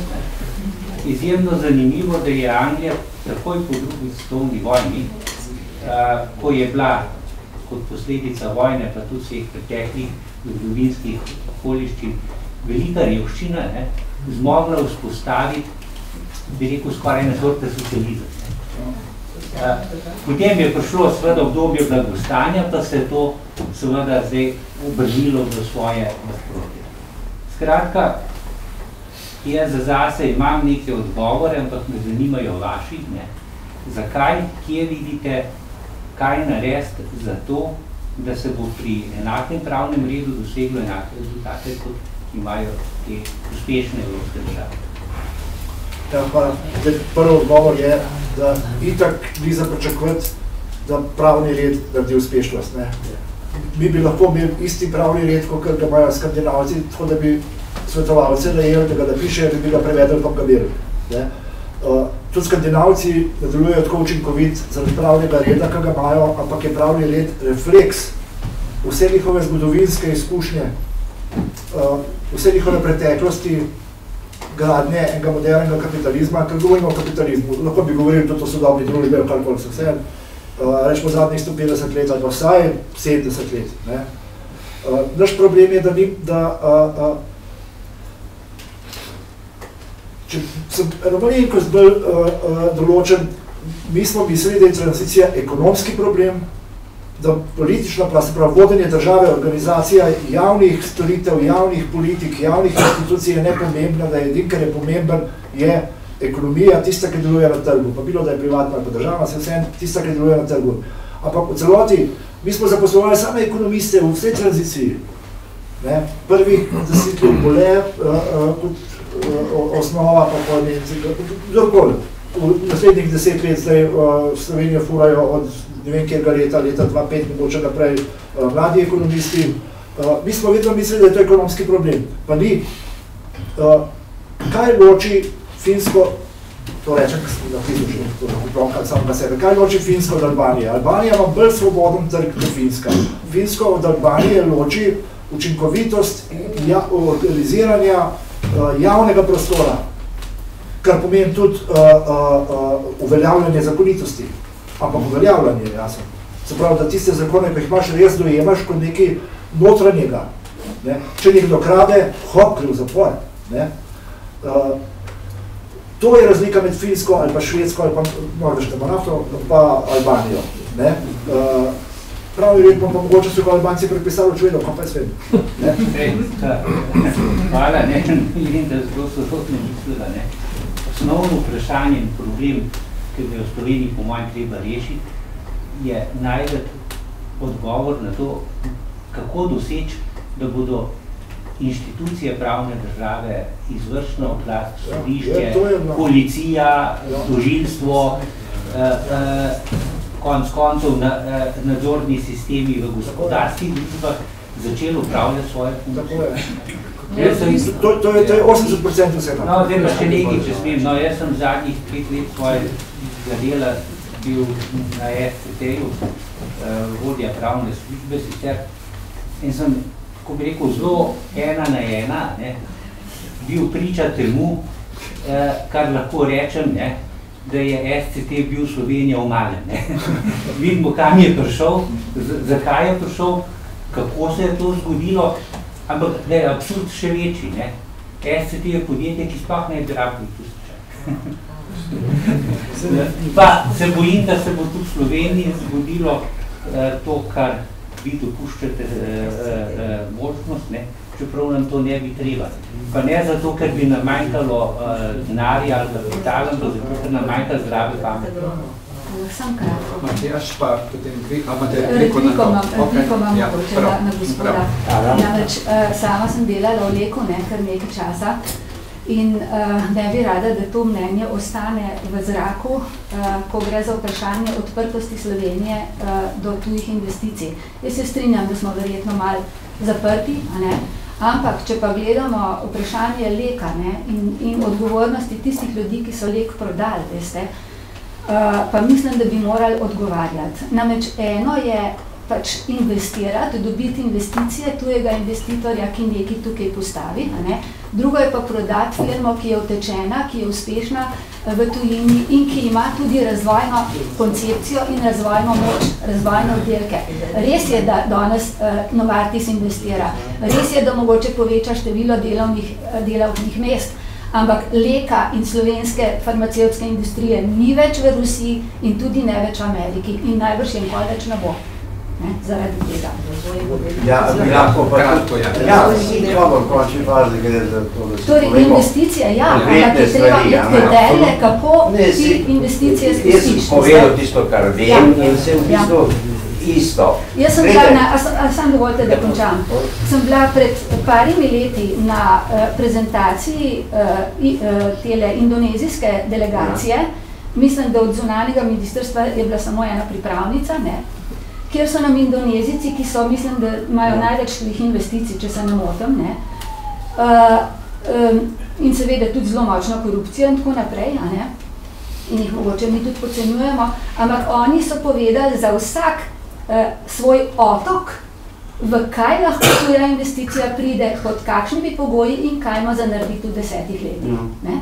Imajo točno določene kriterije, veste. No, Mi pa tega res nimamo. To je To se pa. Eh, Samo tole, zdaj, tu veva oba isto, približno, za reke je bilo plačano, govoril jaz vem, takrat je tudi svoj problem, eh, namreč skoraj fiskalni, zato ker to denar je bilo 850 milijonov. Ja, tako. Kje je denar? E, to je ogromno denar, mi zapremo svojo rukno, e, mislim, budžetarno, za tem denar, to je ogromen denar, da se kje naredi, to je to res.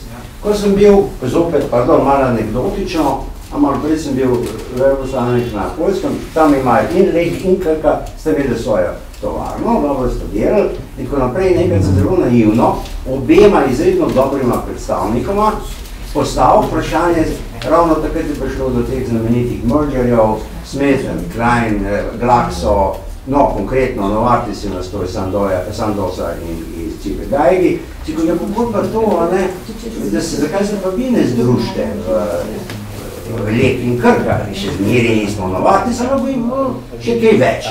Ja, bog ne de, zakaj pa bi eh, iz dveh nastal neki tretji, ki bi bil slabši. Tu je šlo absolutno globoko zmrpiča, samo za neke interese, ki jih imenujejo podjetniška ali, ali, ali ali nacionalno, v bistvu je šlo pa če za ene konkretne posebne interese. Ljudje niso hoteli svojih stolčkov dati. To je bolj direktno, pa so bili izredno sposobni. Tako da, kar zadeva vsi te naše razvojne koncepte, se nismo nič imeli, zelo malo, vsak je delal malo svoje, eno veliko anarhijo. Ja, bi sem vseeno razdanjezal, odkot ta floskola, da je Slovenija ekonomsko zaprta država? V večini slovenskih panog je večji delež tujega kapitala kot v, v, v evropskih normalnih državah.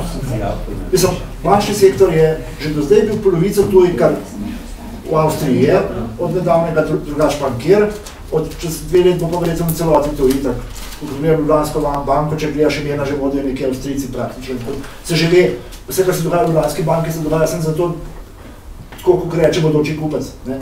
Uh, industrija ima veliko večji delež tujih naložb, kot uh, avstrijska, nemška, holandska, kjerkoli, pa še trgovina isto. Mislim, odkot ta, mislim, ne gre na, na uh, mislim, odkot ta predpostavka, da je Slovenija banana država, za katero, ne veljajo, za katero veljajo, je vedno bila in vedno bo, se pravi, da tist, kar je obupna, kar je po merilih normalne Evrope, stare Evrope, obupna odprtost, je po merilih ene banana republike jasen zaprtost. Zakaj govoriti o Sloveniji o zaprtosti? Slovenija je odprta, bolka Avstrija, bolka Nemčija, bolka Holandija, bolka Švedska.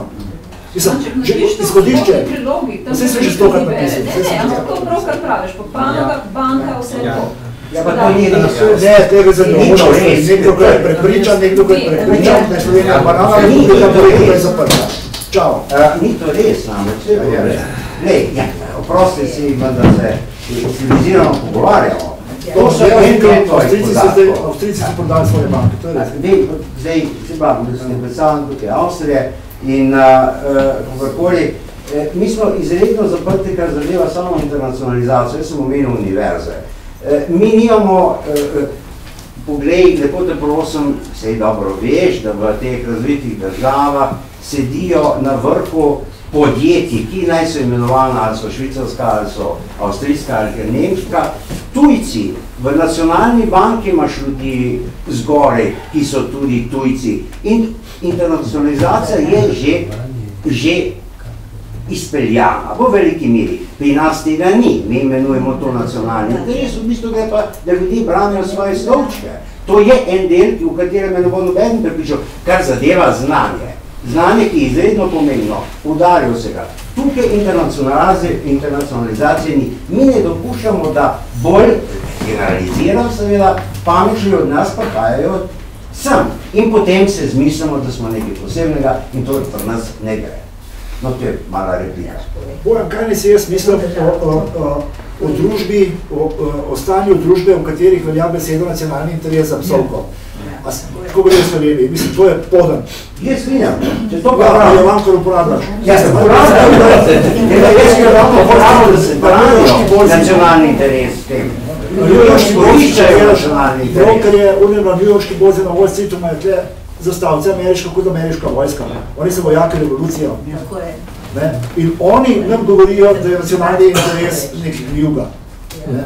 Mislim, imaš države, uh, uh, za katere, uh, uh, ki ne smejo imeti nacionalnega interesa in predvsem ljudi, ki nas to pripričujejo. Ne? In shit. Zakaj pa lahko Avstrija nacionalni interes? Zakaj so v Avstriji jokali, ko so svoje dve velike banke predali italijanom? Jokali so, pa so rekli, nacionalni interes smo zajebali. Pri nas nam bojo pa vsi govorili, ko bomo prodali Ljubljansko, ko, ko bomo prodali Ljubljansko banko, to je dobro. Mislim, fakt. To pa prosim, Ja, jokaj, to ja, ja, gremo gremo je to ni tako, veš, to so tako. Pejmo naprej, da še drugi, da še drugi pridejo do besede. To ni to. Matjaž, Brane.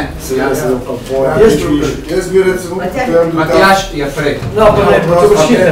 Ne, ne, sem ne. vmes so tri stvari, ki bi govoril, pa vsako zelo kratko. Uh, glede nacionalnega telesa pa združevanja. Meni je Peter Kraljič povedal, v Franciji sta dve veliki uh, farmacevtski firmi bile na robu, je predsednik države poklical direktor oba, skupaj, dokler se ne boste naredili eno veliko firmo, zaradi tega, ker je to v nacionalnem francoskem interesu, ker bo druge kupili, ne boste šli iz te ven in so bili tri dni noter, dokler se niso zmenili. Ja, ampak tam ni bil sramota nacionalni interes, ampak so rekli, Pa ni bilo samo "Boste to, šli." da je politik to reče. Predsednik države to rekel, pa Peter Kralj, če z tega ne vem, ampak Peter Kraljiču ne boš verjamem. Eh, Drugo, eh, če se malo pohecam za tisto, zakaj imam isti eh, pravni red, to je kriv Levstik pa Martin Karpan. Eh, Ker je glavn, si, eh,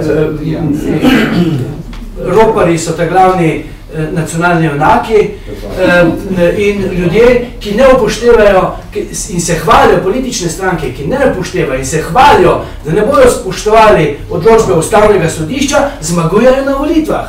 Zmagujejo na volitvah župani, ki, za katere rečejo, vse kradejo, ampak vse krade za nas. Tukaj je problem. Ekološki kriminalci. Lepo prosim, lahko jaz končam. Jaz, če me prekineš, jaz pol zgubim nit. Eh, Zdaj jaz tudi mol- molčal, ko si ti govoril.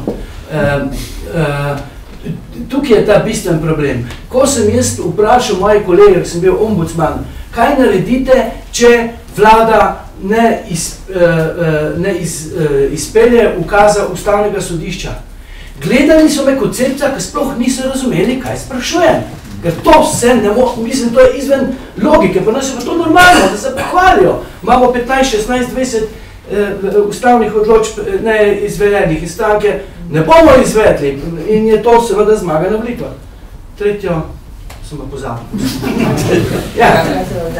Se zdaj se že malo No, no, film. so pa tismo fakt, je ker je, ker je Franček nehal, ne, sem se spomnil, da imamo mi človeka, ki poziva trojko, ne, idiota v bistvu, ki dobi 30 odstotkov na volitvah, potem itak ni od tega ljudstva pričakovati karkoli pametnega. Ne. Na koncu so pa pravzaprav z nekimi povsem konkretnimi stvarmi, ki se dobro potrdi to, kar, je, kar si ti napovedal. To je nadaljni padec plač, ne, ki nam sledi in je napovedano recimo v tem famoznem dokumentu, ki se mu reče kisik za gospodarstvo, ki edino rešitev vidi za slovensko gospodarstvo v znižanju stroškov javnega sektorja. Mislim, to je osrednja misel, ki jo je proizvedlo šest gospodarskih organizacij od gospodarske zbornice, menedžerskega združenja, obrtniškega in vsega. Skratka,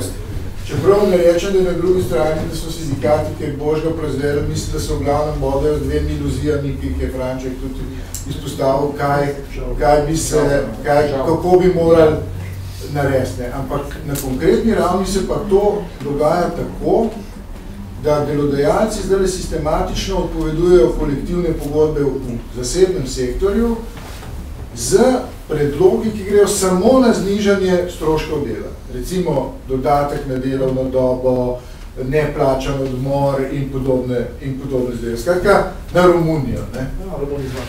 Natančno na to. In tukaj ni nobene alternative temu, ne? ker tudi se strinjam, da sindikati s to, ne, ne vem, iluzijo, da bomo z investiranjem v ne vem kaj, kaj dosegli, ne pridemo nikamor. Zato je ključno vprašanje, na katerega pa nimamo odgovora, ne?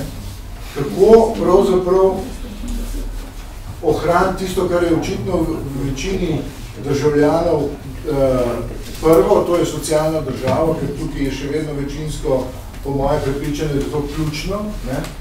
in uh, motivirati ljudi, da bi jo ne branili, ampak da bi našli način, kako jo, o, kako jo bom rekel, in, uh, uh, dotakati novega svežga kisika, tako kot gospodarstvo govori v zvezi s svojo produkcijo. Cilj je socialna država. Uh, ja, Kako ohraniti socialno državo? Kako ohraniti socialno državo ob padanju gospodarske rasti, znižanja BDP-ja za 12 odstotkov? Kdo mi bo na to odgovoril? Jaz sem, jaz sem odloča tisti, o- ki sem zjavne. Povejte mi, a bomo lahko to ohranili brez tega, da se bo moja plača znižala? Ne vem, se mislim, da ne. Ja. Jaz, Kako? jaz mislim, da se da, ampak Srečno. zdaj lahko. Kratek komentar, Ne, saj se tudi želim, da- temi Ja, pa, se pa eno vprašanje, Terve Franče, komentar okrog zniževanja stroškov. Eh, Verjamem, da so podjetja, ki lahko splavajo, preživijo samo tako, da nižajo plače, vendar ne pozabiti, da sta tu eh, dva načina. Eden je eh, običajni, ne, da začneš nižati plače pri eh, tistih, ki imajo najnižje in tako naprej, minimalna plača, drugi je pa ravno obratno. Imamo celo eh, eh, dobitnik gazele, direktor Strašek, HTML Ljutomer je podjetje. Uh, oni so začeli od 90-ih let uh, zniževati plače, ker nič drugega ni delovalo, tako da je ta prvo vse znižal, potem je celo upravi, potem je šel v naslednji management, ko je prišel do delavcev, jih je ker ni bilo naročil pol odpustu, eh, so čakali doma na čakanju, vendar s polno plačo. Potem, ko so se pa vrnili, so polno delali, oni so pa vmes trge najdli in tako naprej. Zgodno o uspehu, vendar nobenega drugega ne poznam, ki, ki bi imel toliko vodenje. unižene plače. Se da na dva načina, ne samo na eden od spodaj. Ne. Uh, zdaj, uh, ker nas je še vedno to, da se uh, seveda nižanje plače, to, bo, uh, to je uh, če dalje bolj v igri. Zadnja, ki je to napovedala, še po tistem, ko so delodajalci, je uh, ministrica za, naša ministrica za socialno, ne, gospa, ki jo cenim, Anja Kopač, ampak vendarle, ona je rekla, treba bo zdaj razmišljati, to je pred par dnevi, pred par dnevi v dnevniku, eh, da je treba to uskladiti minimalno plačo z gospodarstvom. novo, Pri tem pa- gotovo ni mislila uskladiti, da povečati minimalno plačo, da bi vsaj dosegla prag preživetja, unih 600 pa še nekaj evrov, ampak verjetno je to mislila znižati. Ne? In uh, prisiljeni bomo iti uh, sindikati na ulice jesen po zimi, zato da bomo branili obstoječo, ne pa da bi obstoječo znižali vsaj za 20 evrov recimo. Ne? No, moje vprašanje je pa to, uh, ali prvi uh, je Franček Drenovec, ki od ekonomistov, ki je poleg sindikatov upozarjal, da ne nižati minimalne plače, ampak v imenu eh, gospodarske rasti, produktivnosti jo je treba zvišati. To je prvi ekonomist, eh, eh, eh, imaš to ponudno noter v 2000, eh, ne? Eh, eh, devetega, kaj takšnega. No, moje vprašanje je pa to, ali, uh, uh, tu sem pa negotov, ali uh, uh, bi ista logika veljala tudi za stroške socialne države. Namreč ta logika, če ne bi mi uh, uh, zmanjševali oziroma blokirali povečevanje minimalne plače, ne, potem delodajalci ne bi profitov uh, vlekli na uh, račun zniževanja delovskih mest, ampak bi bili prisiljeni uh, uh, uh, uh, gospodarstvo z večjo produktivnostjo. Ker minimalna plača ni bila zaščitena oziroma zaščitena v smislu, ne, da se je vedno, vedno se je na udaru minimalna plača, seveda ne pozabiti te malenkosti, uh, uh, malenkost teh minimalne plače so na udaru minimalne socialne pomoči, ki ne znašajo niti polovice praga preživetja in tako naprej. Torej, a ne bi veljali, uh, veljalo isto logiko zaščita minimalne plače in dvig vsaj na prag uh, minimalnih uh, preživetnih stroškov, isto logiko veljali tudi za stroške te imenovane rezidualne socialne države. Po eni strani, uh, če socialno državo ohranimo, pa jo malce povišamo v prag, saj uh, uh, minimalnih socialnih pomoči, seveda je to problem v proračunu, po drugi strani pa tisto, kar je tudi prvi Hanže govoril. Ne? Če, tu, tu so ogromne potrebe, imamo tudi kader, namreč v socialnem sektorju, če tu odpiramo delovne mesta, povečamo BDP, zmanjšamo ne, Zdaj, ta dilema, no, koliko velja minimalno uh, zadnji beseda država obraniti samo uh, značaj uh, humanizma in uh, civilizacijske atribute, koliko pa tudi skozi to ekonomsko logiko razvoja po analogiji recimo z uh, obnovo uh, stavke.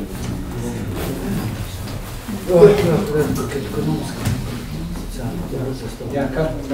Preveč konkreten za me. Ne? Ja. Jaz kot mogoče kot proksi za širšo moče rečem plače, ker so osrednja kategorija. Ne? Ti ostale stvari bolj poznaš, jaz jih ne, tako da jih ne opletam. Ampak, na primer, penzije so strahotno nizke, povprečna penzija in tako naprej. Gro, ne vem, koliko ljudi je, ko ima penzijo 500 evrov ali pa manj. To so populacija, ki je v penziji, je v povprečju, so nekvalificirani delavci. Koliko dobi nekvalificiran delavec za full time v službi, danes v Sloveniji 600 do 700. Mislim, uh, vedno si na tem, ne, uh, v, v Alba, v Romuniji, ko smo že na tem, uh, uh, uh, tudi ljudje živijo pod vsemi civilizacijskimi normami, ne, uh, in ni mogoče, da bi živeli boljš v kratkoročnem horizontu, ne, v srednjeročnem horizontu. Uh, mislim, jaz sem rekel, če bi, se, če bi dosegel, da bi bila, uh, uh, da minimalna plača ne bi padla, ali pa da bi se indeksirala z inflacijo, bi bil to, to je šok terapija. To bi izgubil 20-30 tisoč delovnih mest bi lahko zgodil. V primerjavi s tistim, če bi se znižala. to niso enostavne stvari. Mislim, osnova je, da je ta ekonomija bila uničena in v tem živimo. Ne. Ne, in ko razmišljamo, kako ven, konkretno, kar sem vprašal, no, pa res, res nimam odgovor. Razen to, kompresija, ne, lestvice, šic je tudi to klufta. Le, če en inženir s petimi leti, da rečemo 30 let star inženir dela za 1200 evrov, kaj bo boš vzel? Ne? Uh, ni veliko klufta. Tisti, ki, ki so v managementu, pa imajo 4, 5, 6 tisoč, to to to jih je toliko malo. Ekvivalent, ekvivalent človek v Avstriji ima pa je tam petkrat več. V kompresiji ni veliko lufta, nam je žal. Ta konkreten lasnik iz Prekmorja, vsaka počast, on je dober lasnik očitno, ne. Tako se dela. Ja, prosim. Uh, lepo zdrav, Radan, tukaj. Uh, jaz uh, mislim, občudujem vedno vaše kolumne, zdaj sem prav vesel, da je tole skupaj izdan. Ne, jaz, jaz bi rad samo ene par stvari povedal, namreč nekaj ste omenili leta 41, tako naprej. Uh, pred časom je ena dva slova knjiga prišla, sicer iz leta 73, ampak je bila kar izdana v slovenščini v roke, ki uh, strašne uh, usporednice vleče z današnjim časom. Zdaj jaz jih vidim, naslov knjige je Ekonomija in razredna struktura nemškega fašizma od uh, avtorja Alfreda Zona.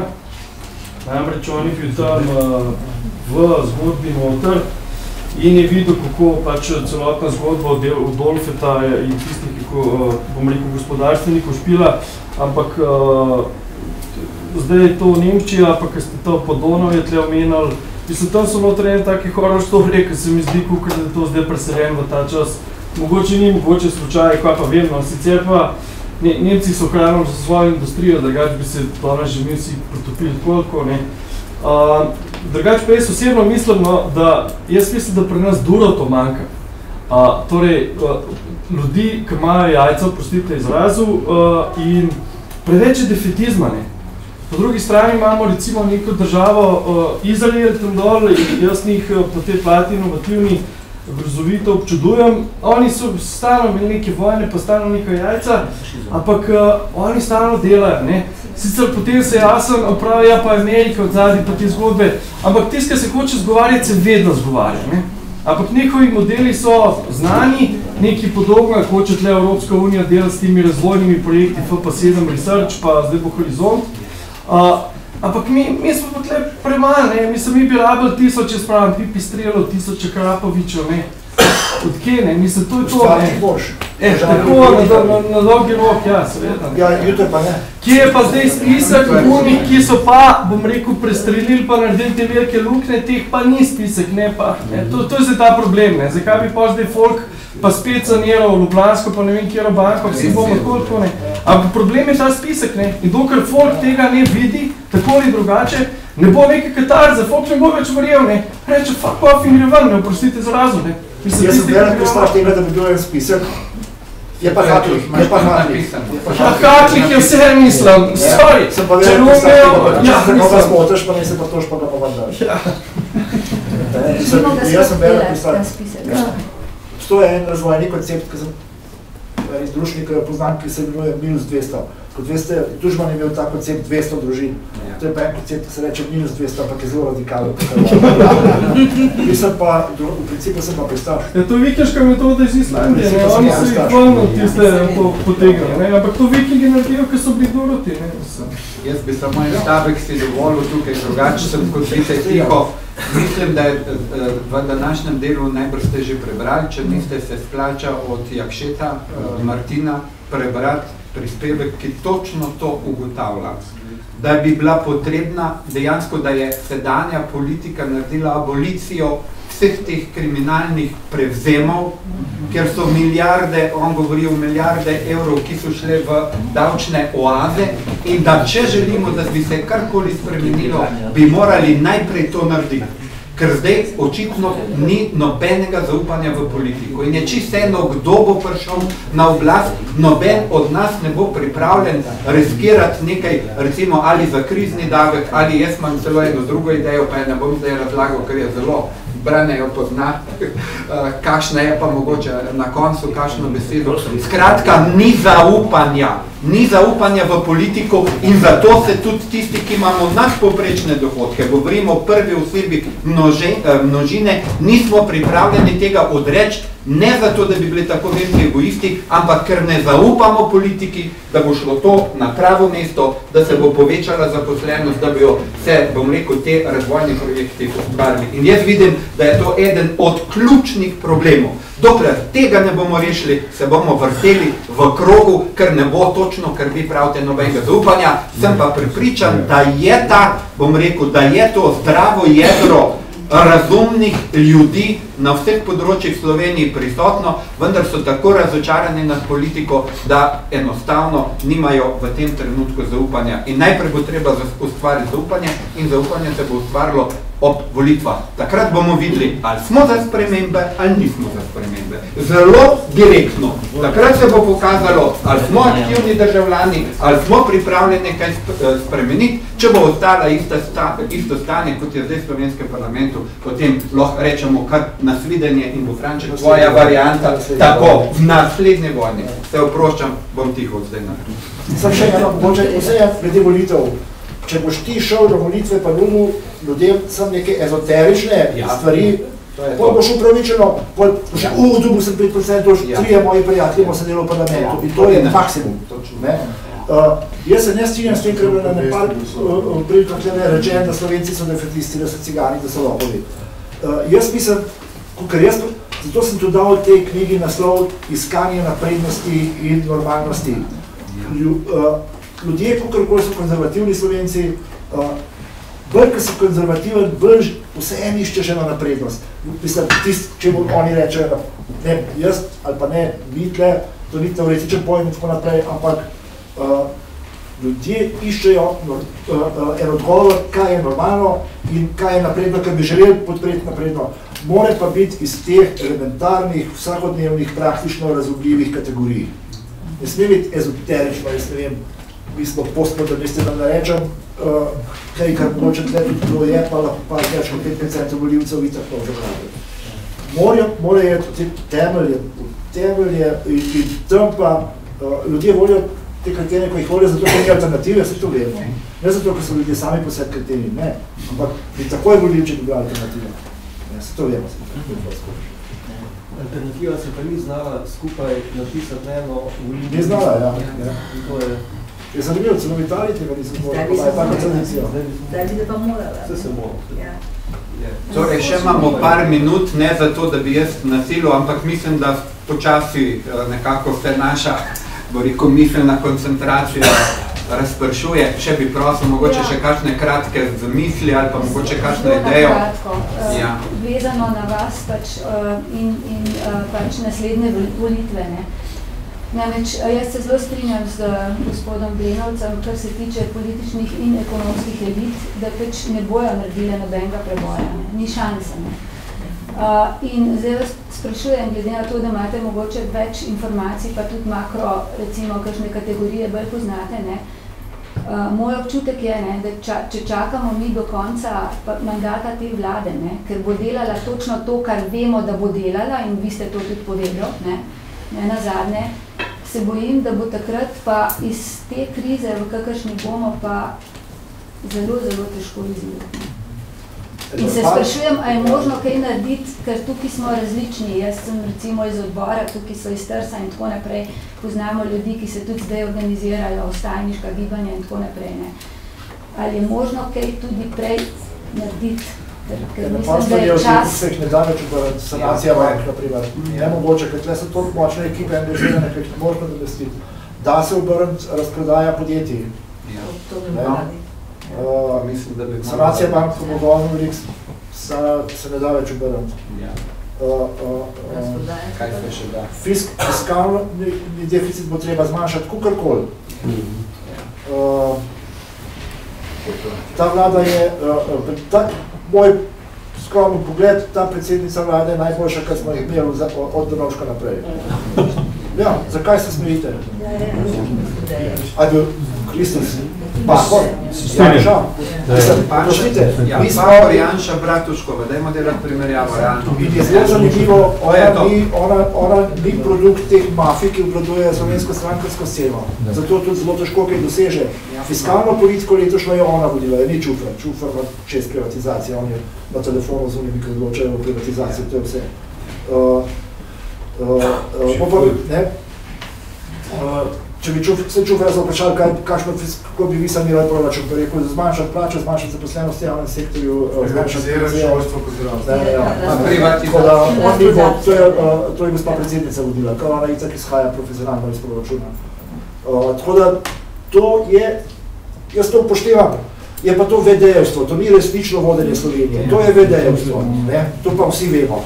Dokler je teh 90 mandalcev v parlamentu, to je vse tako, to ni zares, to ni zares.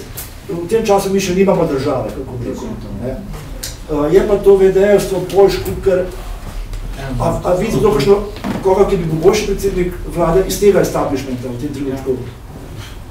Vsak mi grede, ne? Vse je, kakorkoli si, uh, si kontra, ampak je pa vedejevstvo. Jasno. Matjaž, ti neko? Jaz se tretjo spomnil, ampak se- sem hotel povedati uh, uh, še drug primer. Uh, poleg tega, ko si se ti vprašal, kako to trdijo, da smo zaprti, v resnici smo pa bolj. Uh, nekdo z nekim ciljem, ne vem kdo, ampak mislimo vsi, vrže neko uh, laž, ki jo novinarji vsi zagrabijo in vrtijo. Recimo tako je bila ista zgodba, uh, v Sloveniji je javni sektor največji na svetu. Deset let se je to vsi po vrsti, pa ko si kazal podatke, nihče ni hotel govoriti. Eh, eh, sem bil z enim bivšim eh, bankirjem na televiziji, govoril je, največji javni sektor, pa sem pokazal, da imamo v Evropski uniji enega najmanjšega, najmanjših. Če pa ni največji, pa prevelik, ukiniti ga treba. In se zgodba je popolnoma. Predsednik vlade, bivši Pahor, da spomniš, ko si to govoril, koliko je največji, ko smo, ja, koliko je največji, koliko je 30% treba ukiniti. Ko so predstavljali knjigo Kam po krizi, v prostorih državnega zbora sem jaz pokazal tabele, da je eden najnižjih. Pa eh, kasneje, če 14 dni v intervju- v rekel, no vse so mi dokazali, da ni največji, ampak vseeno bomo ga znižali za 30%. Ja, je, mislim, tako približno se slovenska politika dela.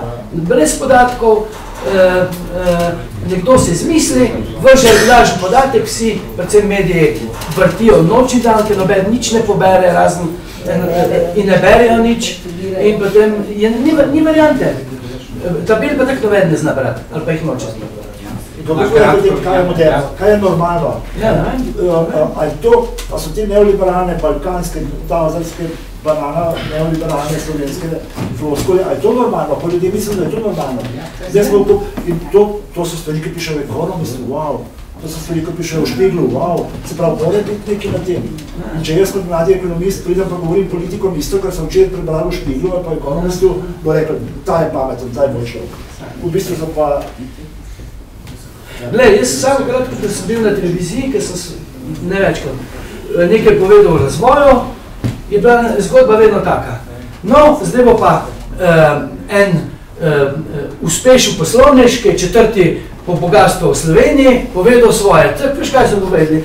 Ti si cepec, teoretik, nimaš pojma, on je pa, in moram povedati, vsemi, ki sem imel dvoboj, so ali v zaporu, ali so v, v preiskavi, ali so na protikorupcijski komisiji, ampak zgodba je bila pa narejena. Nacionalka je mirno pokazala, se ti si cepec, on je pa, eh, ki so ga poslavili, velikega poslovneža, ki je v petih letih spravil skupaj 300 milijonov, ti, ki si po celem življenju bogo stanovanje, veš, da je on eh, sposobnejši. In seveda so te sposobne ujčkali, vsi so jih ujčkali in njihovo razmišljanje je postalo, zdaj so pa v zaporih, mi pa njihove dolgove počnemo.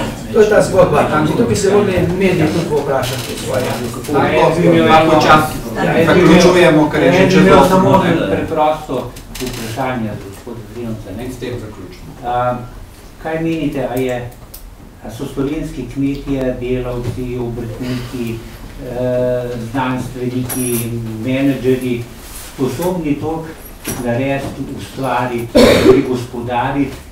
In na drugi strani smo slovenski davkoplačevalci ali pa narod sposobni toliko pošparati, si odtrgati od ust, prihraniti, kolikor lahko, eh, kako bi rekel, nerazsodna, nestrokovna, um, ali pa da ne rečem pokvarjena politika in kapital uničijo, zlorabijo, pokradejo, ne vem, kar, kar koli, Tako je razviden. Ja, je, mislim, če ne, ne, če ne, potem se bojim, da je, kako bi rekel, vrsta trud in napor po delati več in prihraniti več za manj. Ne.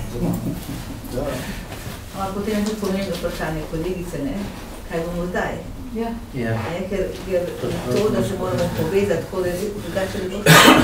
Jaz nisem defetist, nisem pesimistična, jaz tudi v taki razpravi, v tej knjigi, v vas vidim pač tudi odgovore. Ne? Tudi če so taki, ki bi davno že morali znati, ker ob znanju in podjetništvu je še skupnost. Skupnost, ki jo moramo tukaj nekako Ja, novo ja. vzpostaviti. Ja, ne. absolutno, In pripadnost. zato se jaz Ja. pripadnost te skupnosti in, in jaz jo vidim, okrog mene so sami ljudje, ki tako mislijo, ne. E, pa v redu, jaz vem, da to ni vse samo zdaj za volitve, VD in tako naprej, to spravi tudi skupnost nas, ki drugače mislimo, ne, od trsa do odborov in vse to, kar smo se mi pogovarjali, koalicija, stranka, mi se moramo povezati. Ne, na nek način moramo najti nek skupen prostor, en ja, za- zagotoviti v tem javnem prostoru, o kateri Franče govori, javni prostor za politično akcijo, ki bo pripeljala do, do uspehu na volitvah, ampak to mora biti velik uspeh, ne? To mora biti prelomen uspeh, ne, ker drugače je premalo. Ja, sam s tem, da je treba nek tudi realen koncept za tisti čas, Za reševanje vseh teh problemov. Mislim, mislim, dejansko je čas prelomen, ne, ko se pravzaprav ne moreš iti več politike, ki je, ne vem, pravijo umetnost možnega, ne, ampak so stvari tako ključne, da je treba Bobu reči Bob in, in, in definirati, kaj se da narediti, da se pride ven. Ne Ker, če ne res, čez deset let Slovenije ne bo, ni nobene šanse, da obstoja. Pa še boljše je to, ne, lepše je to, ne samo Bogu Bog, ampak čisto nekaj drugega. Ja, absolutno. mi potrebujemo, čisto nekaj drugega, da to tudi mi ne. Koncept, Ja. drug koncept, da res, ko Temelji, rečete, da je najbolj temelji. temelj, Ja. vsega tega. To pomeni, da To je naša odgovornost, da se povežemo. ekonomija ni, samo v ekonomiji ni rešitev, ampak Je pa, se tem je problem slovenske tranzicije, da je skozi temeljila na ekonomiji, čisti minus sekala. Problemi tranzicije sploh niso ekonomski. Ekonomija pride sama od sebe, odpreš trg, sposobni ljudje se bojo znajdeli na njemu, mala stvar v Italiji, v Albaniji, kjerkoli. V Italiji je tudi problem, da je država razpadla.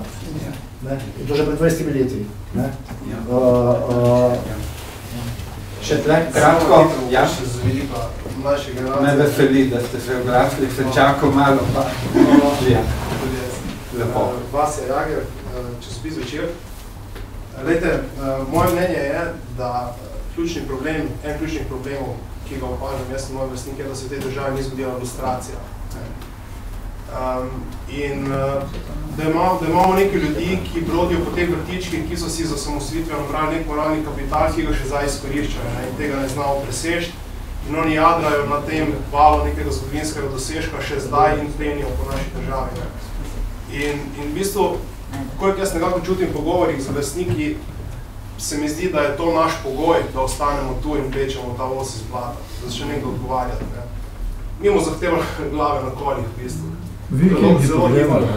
Prosim? Vikingi pa gremo, ne? Mislim, ne, zdaj, če Če ne se- bodo prišli naši gor. Ne, ampak, ampak, ampak to, to je naš pogoj, ne? ker kaj se od nas zahteva? Gospod Denovec, sami veste, da bo trajalo verjetno 20-30 let, da bomo, da bomo, da bomo prišli spet na zeleno Ne, prej, prej, prej. Mislim, lahko prej, lahko prej, brez težav. Ampak nekaj časa bo trajalo, ne? In kar se od nas zahteva, ne, je, da se zrečemo naši mladosti, naši mladosti in ustrajamo tu in zdaj popravljamo to, kar se druge naredili. Ne? Ljudje, ljudje, v katero so mi nekoč verjeli, ne? mislim, veste, veste kak natek je to, kaka jeza se kupiči v tebi, ko gledaš te ljudi, en, en tvojih najstarejših spominov je Špučana, ki je zasedel tisto lipo tam in je rekel, dan so dovoljene sanje. Ne? In ti sanjaš, greš v osnovno šolo, sanjaš, greš v gimnazijo, sanjaš, greš na faks, sanjaš, ne? tvoji starši obiskajo, ko greš na faks, tam iz neke štajerske upojebine, pa reče, mali gospod, ne? potem se pa zbudiš, ko greš z faksa ne? in ugotoviš, da države ni, da so jo ukradli. Ne? In potem si rečeš, ko vidiš, kakšne stanje, ok, mejte jo. Vse ste jo naredili tako, ukradli ste jo, potem pa mejte. Zakaj bi zdaj jaz puščal svojo mladost in se za vas boril? Ker bo trajalo ogromno časa. Ne? In naš pogoj je, da začne nekdo odgovarjati. Ne? In v bistvu, vprašal, gospod Štrajn, ste, ste dali primerjavo z pravnimi redi. Ne? Imamo Barbaru Brezigar, ki je delal v pravosodju, kar je delala, ni bilo nič. Mi smo Mirana Železnika, ki je, ki je, ki je spravil spise v Maro, ni bilo nič. Mi smo Neven Kotori in, in kaj je bil Boris Lepša, ki sta, ki sta vodofali ljudi pri Orionu, ni bilo nič. Ne? In počasno imamo tega dost. In obstajajo, so seznami, seznami so že narejeni. Znano je, kdo je kredite odobraval. Znano je, kdo je krater naredil. Naš problem je, da imamo krater v državi, da je denar šel. In imena so znana. In mi, mi bomo zahtevali te glave, če hočete, da ostanemo tu in nekaj naredimo. Ne? In imamo pa to odgovornost, vsaj jaz, kar se mene tiče, jaz vem, da ta otrok, ki ga bom nekoč imel, ne, ki bi ga rad imel, hočem, da je Slovenci naraste v Sloveniji in da ga bom pogledal v oči, da bom lahko rekel, lej, poskusil sem. Ne. In to je vse, kar si želim. Ne. In jaz mislim, da je najboljše, da tukaj zaključimo. Se strinjate? Hvala lepa za potrpežljivost, za razpravo.